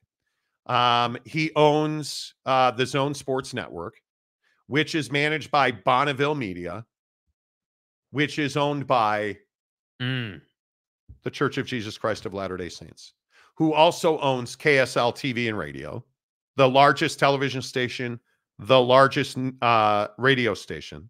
They own the Deseret News, which is the second largest newspaper in this town. And they all support Ryan Smith. Where's the critical piece on this? Where is the where's the sports talk host, the news talk host? Talking about that we're giving half a percentage point in sales tax to pay for Ryan Smith's new arena downtown. Did it go to a vote? Did was it a ballot initiative? No, because it wouldn't have passed. And again, I point to Kansas City. The Chiefs are the foremost dynasty in, in the National Football League right now. Their fans resoundingly voted down a tax increase to pay for uh, a renovation of Arrowhead Stadium because we have other issues. Our kids can't get educated. Our, our, we don't pay nurses, teachers, firemen, policemen. We don't pay for that stuff, but we're giving up. I can keep saying it, man. Yep. It's wild to me. It's wild to me that we're doing this and there's no accountability for it. It is shameful. It is abhorrent. It is what's wrong with politics in our country. So when I tell you, don't worry about Donald Trump, worry about your mayor, worry about your council people, worry about your, your county commissioners, worry about your local legislators, your, your state senators. Don't worry about the man in the orange suit. Get local because they you're you're creating tax breaks not unlike the the the tax renovation we saw recently where billionaires got billions we're giving tax hikes to billionaires vote in your local elections that's what i would say enough of us more of you Uh, let's get your thoughts in here. Let's see. Mike Smith, like I said, I do not follow hockey. What that said, if a smaller market like Columbus in a state with multiple pro teams can do okay, what about Utah? Here's the difference. I think in Utah, this is a this has always been obviously a college sports town. I think we in general passionately support college sports. I think for the first 3 to 5 years we will support a hockey team. I can tell you now, I will be there when the Blackhawks play. The issue is not will fans buy tickets? What's going to happen when Ryan Smith Ryan Smiths? which is he stopped spending money on payroll. Because to get fans in the gate, you're going to have to win the first two, three years. And then what? And here's the other thing How are Jazz fans going to feel when the NHL team competes at a higher level than the Jazz do? Because Mm. Ryan Smith came in here, like you said, oh, the Millers, and they're great. And we want to bring a championship here. Want to continue the heritage. So we're going to trade Rudy Gobert and we're going to trade Donovan Mitchell and Bojan Bogdanovic and Buckets O'Bench and we're going to decimate this roster. All in the name of rebuilding. And we're not going to spend money on talent. And we are not going to spend money on. He renovated Delta Center. Why did he do that? Because he got a, a stipend from the NBA to have the All Star game here. What have they done to build a winner with the Jazz? The the uniform debacle where you didn't plan it well enough so the the beloved purple mountain uniform was a year delayed? Come on. What makes you think that he's going to win with the Jazz? He has no choice in my opinion but to spend money and win with the NHL franchise. Mhm. Because if they come out and they win 20 games, you're fucked. People here will not go to those games. Nope. People here will not. You can put them on any TV station you want. If you bring a team to Salt Lake City, they will not support them if they do not win. And no, we're not paying for Coyotes Plus. They will not win. They, I'm telling you now. Uh, Kay Nurin says I couldn't name one NHL team. It's not a, you guys. It's not a matter of. It's not a matter of. Do you know the NHL? Will you get to know the NHL? Will you get to know the NHL? You will, whether you want to or not. It's going to be on TV. It's going to be all over the media because Ryan Smith controls the media in this town. Yep. It's going to be everywhere. There's going to be billboards. There's going to be ads. It's going to be on the radio. It's going to be on YouTube TV. It's going to be on regular TV. You're not going to be able to get away from it. Well, and you know what? You know what's going to happen. They won't be the Coyotes anymore. No, they're going to rebrand it. They'll rebrand. Ryan it Smith is he's already doing a campaign taking suggestions for the new NHL team's name. He is going to pay. Do you guys understand? And here's why you, we're, we're we are going to pay for his building. He's probably going to pay, let's call it 1.5 billion dollars to buy the Coyotes and pay a relocation fee to get them to Salt Lake City. He's going to pay that money out of pocket. His him and his Smith Entertainment Group. So that's why we're paying it because he doesn't have the money to do it on his own. no. And don't oh it's money. He's revitalizing downtown. Great. Shouldn't we have done that? Like anyway? Shouldn't the church be doing that? Yeah. Like shouldn't we? Like shouldn't revitalizing downtown Salt Lake City be an initiative that was done regardless of an NHL team? That's what I'm saying. Like Ryan Smith is no hero here. Ryan Smith is not like doing anybody a favor. And that's what I think is hilarious in this town. Oh, well, Ryan Smith is going out of his way and you know, Ryan Smith is leading the way and you know, he he he he's he's the best. And all I'm saying is, dude, like I've lived here long enough to know that Salt Lake downtown Salt Lake City is nothing to to get excited about right now. I'm not like, oh man, dude, bro, I got to go downtown, man, to see what, to do what. The Jazz are the ticket. That's it. That's it. And That's all. and, And I'm not even saying that from a place of like that. I like that. I wish downtown was was popping. I wish that downtown was was was much bigger and it felt more robust and you know it it, it, it there was more to do. But basically, downtown Salt Lake is a bunch of bars that you can go to if you like. Uh, you can see a concert here or there. You can see a, a you know an opera show or something, but there's not a lot happening down there. And then there's this little thing called the the the the Church of Jesus Christ Latter Day Saints sitting down in the middle of the, the city. And I'm just sitting here like, dude, like this is not Ryan Smith doing anybody a favor. This is Ryan Smith doing himself a favor. This is Ryan Smith, in my opinion, being selfish and not wanting to find a way to do it with private money. Yeah. And that's what bothers me so much. Tanner Plummer, the Mormon church is saving their money for the second coming of Jesus, apparently. It's not, I, I don't want this to turn into a referendum on the church. But as I said, nobody owns more land. No private entity owns more land. I think the church is now the fifth largest private landowner and the largest owner of ranch and cattle land in this country. And I think they're the fifth. The Church of Jesus Christ of Latter day Saints, I believe, is the fifth largest landowner in the entire country. And they own it all shopping centers, office towers. They own it all. Mhm.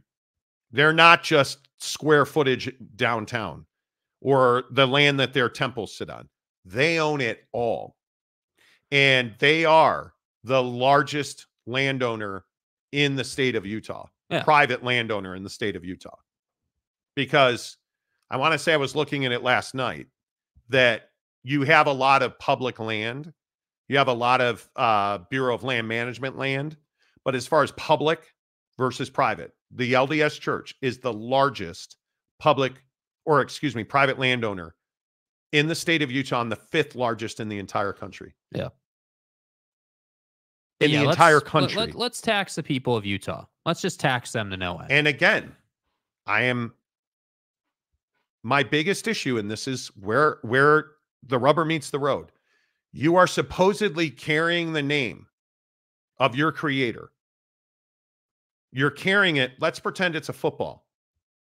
You're carrying it down the streets of Salt Lake City, walking right past the drug addicted, right past the homeless. We went to this, I told you this story. We went to the symphony two weeks ago. We quite literally walked by a guy, an IV drug user, laying on the street. And one block down, what, what did we see? Another guy standing on a fence post, not really hiding, I guess, taking a leak on a fence post. All the money in the world, giving it to a billionaire to build his new arena, not doing anything. Oh, but we're going to revitalize downtown. Okay, Been but- saying it for so- decades. just just out of curiosity, where where are you going to bust those drug dealers and drug users to? Where are we going to when all this gentrification's done? Where are we going to push the homeless people to? They're just going to throw them up there in Ogden? Well, you know, because if we're building shiny new shit in downtown Salt Lake City, are you telling me that? Are you telling me you're just gonna? You think that these rich dudes are just gonna? They moved homeless people out of downtown Salt Lake City for the NBA All Star game. You think they're not going to do that when they open up their shiny new building? Yeah, they are going to do that. Yeah. Yeah, they're going to do that. They're just going to put it off on somebody else, dude. Like, come on. Uh, does Salt Lake City have a Kensington Street? I have no idea. I don't know. You know, um, let's see. Arlington, Chris Karn in the chat this morning. Hello. Uh, the federal government is the largest landowner in the state. I get your point, but the Fed owns 60% of Utah. Different, different category. The Church of Jesus Christ of Latter day Saints is a private entity that gets enormous tax benefits, by the way. Um, they are, it's not, I- I don't believe it's close based on the numbers I looked at last night. They are by far the largest private landowner in the state of Utah. Yeah. And I, and it it blows my I'm pretty sure they're the But, fifth but largest throw, in the country. throw all that out. You, you, can we not just agree that the LDS Church in the state of Utah is powerful and they could be making a difference if they wanted to make a difference. they have enormous influence. like so so cool chris like and i love you dude i'm not even criticizing you here but cool great you're right sure whatever the point is is that the church has the power to make a difference i've dude i've been hearing about revitalizing downtown for 10 years this isn't new this isn't some like new angle bro we've been hearing about oh, well, we got to revitalize. That's like a catchphrase in this state revitalize downtown Salt Lake City. Oh my God, the bees are leaving downtown. How could they? How could they? We got to revitalize downtown. We, we've heard this before, man. This isn't new. The only thing that's new here is Ryan's going to get paid. That's the only thing that's new here. And then what's going to happen? Honest to God, what's going to happen? We'll probably get some calls and people are going to say we said some stuff. And the reality is we're the only ones saying stuff, man. And and people don't like it, but it's the truth. It's what's happening. Yeah, it's frustrating. I, I, I we can. I'm going to continue to ask for for this dude, um, this rep Ryan Wilcox from Ogden. Um, he's the guy that's trying to create this fairway arena, uh, area investment for the baseball stadium. It's a huge mistake. Huge mistake. And we've asked Governor Cox to come on. He said no repeatedly. Actually, what they do in the governor's office is very much what they do in Ryan Smith's office. We'll get back to you. Yeah, we'll we'll try to figure it out. We'll get back to you. You never hear from him. Yeah, I call that positively saying no. Yeah, they're saying no. There, there, there's no doubt about it. Uh, Dan McCay from Riverton, down the street from us, um, sponsored SB two seven two, um, which is, I just think, yeah, I think this whole thing is terrible. That's my opinion. I think it's brutal. I think it's the wrong thing to do, uh, which is very much what I would say. Uh, Tanner makes a good point for once. Salt Lake feels like Gotham. The town needs a Batman or a Super Soaker. Somebody. Yeah. Somebody. Somebody. Brandon Butler, hello. Let's be honest. Pro sports owners have always wanted the people to pay for their new toys.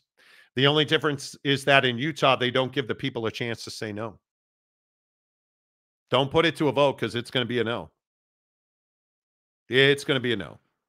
Uh, no doubt. Giggity said pretty, sh- uh, well, damn it, Tanner, rise up. Exactly. UW fan Jim, pretty sure you said private land. I believe that's correct, but Chris is right. Um, the Super Soaker is now our Batman. Is Tanner Plummer the hero we need? But not the one we deserve. exactly right. Uh, I make a good point for once. You do. You always make good points. I'm just ball busting you. OG Gary, vote them out, but people won't vote in local elections. People will not vote. I'm telling you, man, your council person, your mayor, uh, your your legislators, your state senators, you got to vote in your local elections. They're the ones that really they they're the those are the guys stepping on your nuts, dude. Like I try to get people to understand that you all want to vote for president. Okay, I agree that you should. But what they're doing in Washington is not nearly as impactful as what they're doing in in in Salt Lake City at the Capitol. hmm Those are the guys you should be holding accountable. Your mayor, your council people. But we've gotten to a point now where we don't hold people accountable. Oh, you don't like that rule? Don't follow it. You don't want this to be applied to? Sue, don't follow it. Delay. Don't do it. Like do, that's what we do now. That's what we do now. All right. Uh speaking of which, can I bitch and moan about our internet problem, please? Because then we have to go. Do we take the internet for granted? Yes. Oh my God. Okay. Tuesday night. You know, like grinding my ass off all day. I'm going to go hit some balls, right? Going to the range. Got some golf coming up this weekend. It's going to be the nicest weekend of 2024 so far this weekend here in Utah. Going to go to the range. Working on a new swing change with my guy Darren Ingram up at Canyons. How funny is it? We played River Oaks last night. Found a Canyons uh, Pro V1 Yeah. is sitting on the fairway. Found a Canyons Pro V1. Anyway, um, yeah, I'm, I'm at the range, like grinding a, a, a blister. Can, Hello. can you see that Um, piece of black tape Yeah, right here? Hi. Yeah, blister tape. Um, working on a swing change, whatever. Get in the car. Me and my wife were going to go to Costco in the grocery store that night. She's like, "Yeah, I can't do it. Uh, the internet's out. The internet's out." Okay, well, I pay a Wi-Fi company ten dollars a month for technical support. Let's call them. Oh, we're closed. okay, let's call. Do I even say their name? Let's call CenturyLink. That would have been faster. Uh, hey guys, we're out of internet. Yeah, we don't take phone calls. Chat with us. Okay. Um, okay, chat with you guys. Yeah, it's not our problem. It's your equipment problem. Sorry. Okay, call the call the equipment provider. Okay, pass the buck to the equipment provider. The equipment provider, let's get crazy. Dude. Answered the phone. Whoa. 8 o'clock p.m. Mountain Time. This company called Eero, who we use for our internal network here at the crib, answers the phone, runs us through a whole whole check. Yep. Everything on everything's working great except your internet. Your internet is not getting to it to the to the router. Okay, let's go back to CenturyLink. Now it's 9:30, 9:45. And at this point, you're probably already frustrated. Let's chat with CenturyLink again. That's right. I get with the technical support people on chat. What do you think the first thing the guy wants me to do is? Yeah, reset your router, man. Hey, bro, can you uh, Hey, uh hard reset your router, unplug My- that thing? Not soft, hard. And so I finally I said to the guy, we've done it five times. We've gone through technical support. We did all of your stuff because they send you this thing where they want you to, you know, they want you to reset up your router and you got to log in and hours of BS. Did all that. Hour later, finally, the guy's like, well, you know, it's this box on the outside of your house. He admits the internet signal is not getting from the hub outside to the router. Oh, so wait, it is your problem. Oh. Now we're getting somewhere. So, but but we got to this point after two hours of nonsense. more than that. More than that. Hours of nonsense. So the guy's like, I need you to go outside and I need you to reset this bot, the fiber, the fiber point. We need you to reset that box. It's on the outside of your house. I said, Well, I'm pretty sure it's not, man. Like, I've never seen this before. Do a Google image search of what this box is supposed to look like. Oh, I've seen that. It's on the far side. I live in a uh, a townhouse, a row of townhouses, right? It's on the far side on somebody else's outside wall. So here I am, late at night in the dark, walking around in somebody's yard with my iPhone flashlight on, hoping not to get capped, murked, pew pewed. Yeah. Find the box. It's got a hexagon lock on it. Can't open it. Go back, chat with the guy. He's like, Yeah, you can. You can open it. Go ahead. I said to him, There's a Um, hexagon lock on it. And he's going through this whole thing like, Hey, here's what, what you do. Here's, and I'm like, Hey, I finally said in all capital letters, I can't open it. It's got a hexagon lock on it. It is locked. And he's like, Are you sure? no, dude, I'm not sure. And you want to hear the worst answer you've ever gotten from this guy that you've been banging with now for the better part of four and a half, five hours? Oh, hey, that's fine. I'll reset it from here. That's what fucking ticks me to fuck off. dude, then why are you like, having me out are in the wilderness? Why didn't you just? dude? He hit one button, fixed it. Why didn't you? Why then? Why didn't you? So I said, yeah. Dude. It's the worst thing in the world. And everybody's like, why don't you get Google Fiber, Monty? Why don't you get Comcast? Because it's not available. It's not available where I live. And frankly, it's all the same. I'm going to be brutally honest with it's all the same. But the bottom line here is not how crappy CenturyLink is. And oh, trust me, they are crappy. But we take the internet for granted, dude. We 100% take Wi-Fi for granted. Hundo P. It is it is remarkable to me how much we take this for granted. Mm-hmm. I want it. And I just I am amazed at how annoying it is not to have internet service in the house. So what So What was I unable to do? Yeah. Uh, Alexa didn't work. The TV didn't work. Uh, none of our smart stuff worked. None of our ring cameras worked. The you're like obviously the phone worked, but in your house I don't have great service in my house. Can't show prep. Can't do a show. Like nothing. Nothing. And then you hyenas are like, Monty, why aren't you doing a show, man? Is there going to be a sh- no show today? What happened? Like it's as if as if we, you know, just decided not to do a show. Uh, I, I it is it is so unbelievably so guy over here goes, annoying, dude. What was it? It must have been like 11, 11. o'clock or whatever. Eleven o'clock. And and I can tell you're all pissed off. And I didn't see the text until I was getting up for to to come over and do the show. But there was a text you sent where you're like you're like F it, F it. I'm done dealing with CenturyLink. They said it would be done in the morning, and I don't trust them.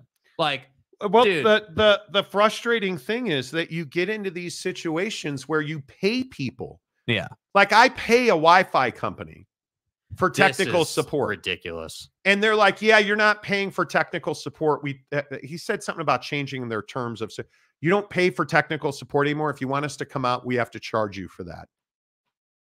Well, what's my because I pay him ten dollars a month. Where's my ten dollars a month going? You're leasing the Eero equipment in your house. So you know what I did? I bought my own Eeros and I canceled my contract with those dudes. I'm out. I'm done. Yeah. Like it's the biggest. eh, mm, It's, it's so frustrating. It's so frustrating. Like, I just don't understand the point of having a home internet company if you can't help people with their internet when they need you. You know. Like, what is what is the point? Uh, Dakota Tubbs. Jake was punishing Boss Frog for not paying his dues. Yesterday was a warning shot for him. Yeah, I mean, you know, Boss Frog was in collections, no doubt, no doubt. Yeah.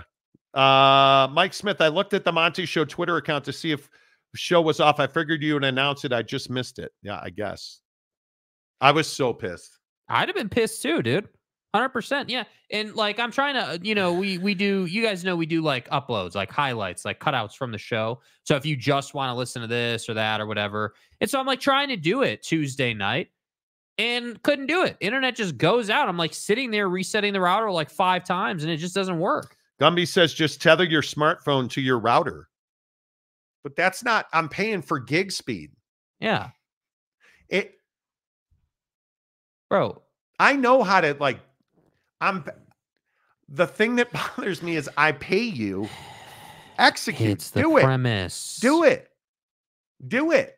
And I for the record I don't have great cell service in my house. Yeah. so yeah. I just cannot I can't even imagine it. I can't I I pay so many people so I bought a new car right? I I bought a I bought a really nice BMW Yeah. Another right? I bought example. I bought a really good BMW, and I get paint protection. PPF. And what that is is it's a it's an invisible film that goes on your the front face of your car, the hood of your car, your lights, your mirror caps, and your windshield, so that when you get hit by rocks, because they're building a new stadium downtown, I'll stop. When you get rock chips or things that hit your car, it doesn't damage your paint. It was thousands of dollars. Yeah. They apply it and they did a terrible job.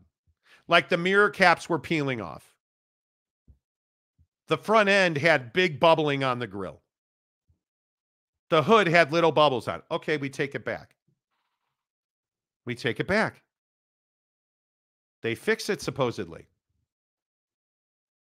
They didn't fix it. Yesterday, we go to pick the car up. We're at BMW and it's just brutal. My wife is looking at the hood like the paint protection film is peeling off the, the edge of the hood. And so the guy's like, "All right, I'll have my guy come back." I'm like, "No, you need to have him come back now." Like who's the who who's the person? And it turns out that this particular store contracts um, with a paint protection firm that does all their upgrades. BMW actually contracts with them. It's a private company that's now housed at each dealership. So the guy comes out and he's like, Well, what is your expectation? And I said, it's I paid this much for my car. My expectation is perfection. Perfection. Like you can see on the mirror caps. Yeah. The line where they cut the piece of film. It's really poorly done. You should be able to look at it and not know it's there. That's why it's invisible. You should be able to look at your windshield and not see it. Look at your mirror. ca- And the guy's like, Yeah, we let you down this time. I straight up said to the guy, You didn't let me down this time. I'm never going to, pr- I'm probably never buying another car from you. And, and when I do, if I do, because they're the best BMW dealer here, if I do, I will not be buying paint protection from you guys. I will go to Big O Tires and get it done. Yeah. I will go to my guy Ryan at Big O Tires and American Fork and get it done. Because when I paid you, you didn't do the job. Yeah.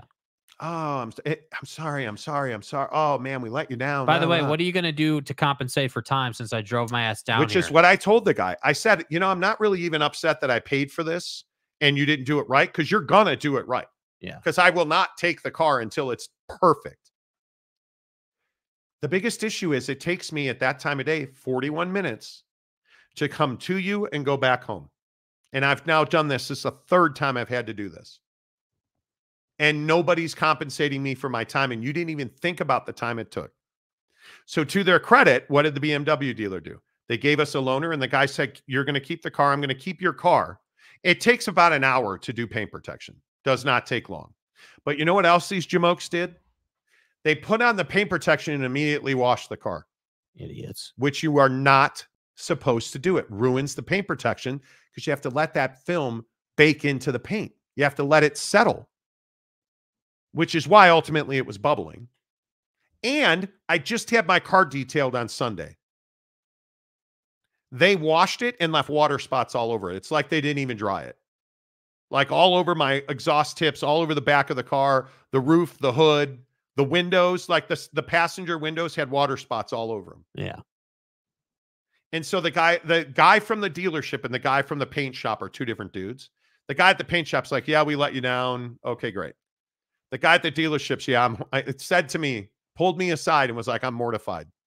He said, "We're going to get you a loaner, and then when your car's ready, we're going to bring it to you.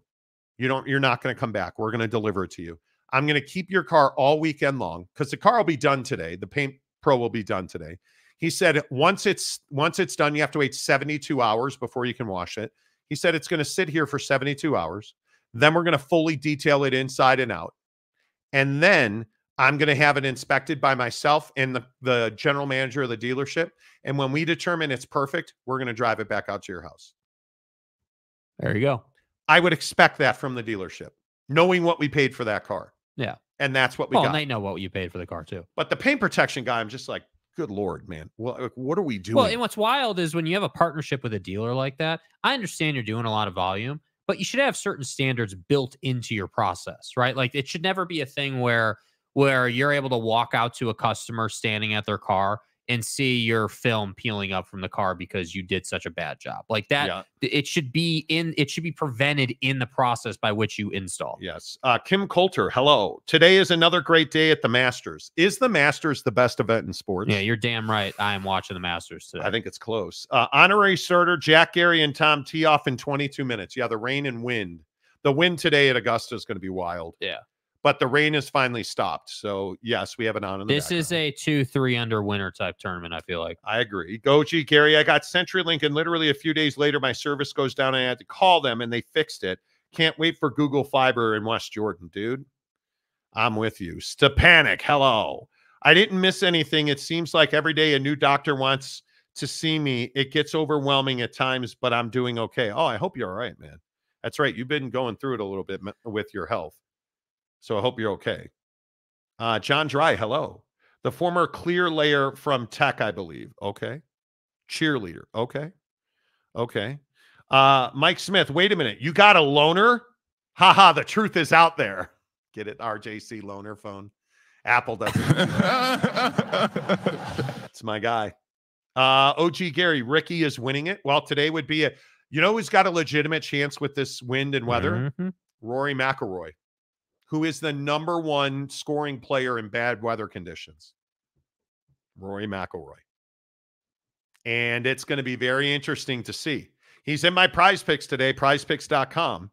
Uh, download the app, use the promo code Monty to get 100% deposit matching. Uh, real quick, because we are way late. But uh, I have Rory McIlroy less than 72 strokes today. That's a lot of stroking. Yeah, it's a lot, dude. You know, when you're stroking that much, you know, it's Dakota. Tubbs. Did Monty just admit that he has a loner? I did. You gotta get stroked. Damn it, Mike, you beat me to it. Yes. And look, our uh, RJC loaner phone as if on cue. Customer service is the worst. I have zero expectations. Finally, something I agree with you on. Honestly, I'd start stroking guys. Mike Smith stroking. Mike, yes, you would. Yes, you would. The Monty Strogram. Off the top of my head, that's the best I could do. yeah, literally, yeah. Uh, the Monty Show, presented by our good friends at The Advocates, theadvocates.com, the best injury attorneys in the business. Love those guys. Uh, tomorrow is Giving Friday. We won't be here. Not because the Wait, wait, internet's wait, out. I will be here. I will be here. Certain guys who are just so thirsty for dames hmm, You gotta get stroked. won't be here. Honestly, I'd start stroking guys. There are people on this show, and I'm not going to name names. There are people on this show who will not be here. Macaque. They will be. They will be. They will be in the desert getting serviced. which You do you. Stay hard. You do you. We'll be back on Monday Let's ride. on the Monty Show. Presented by the Advocates. TheAdvocates.com, the best injury attorneys in the business. Until Monday, keep stroking, Jake. Keep stroking, Jake.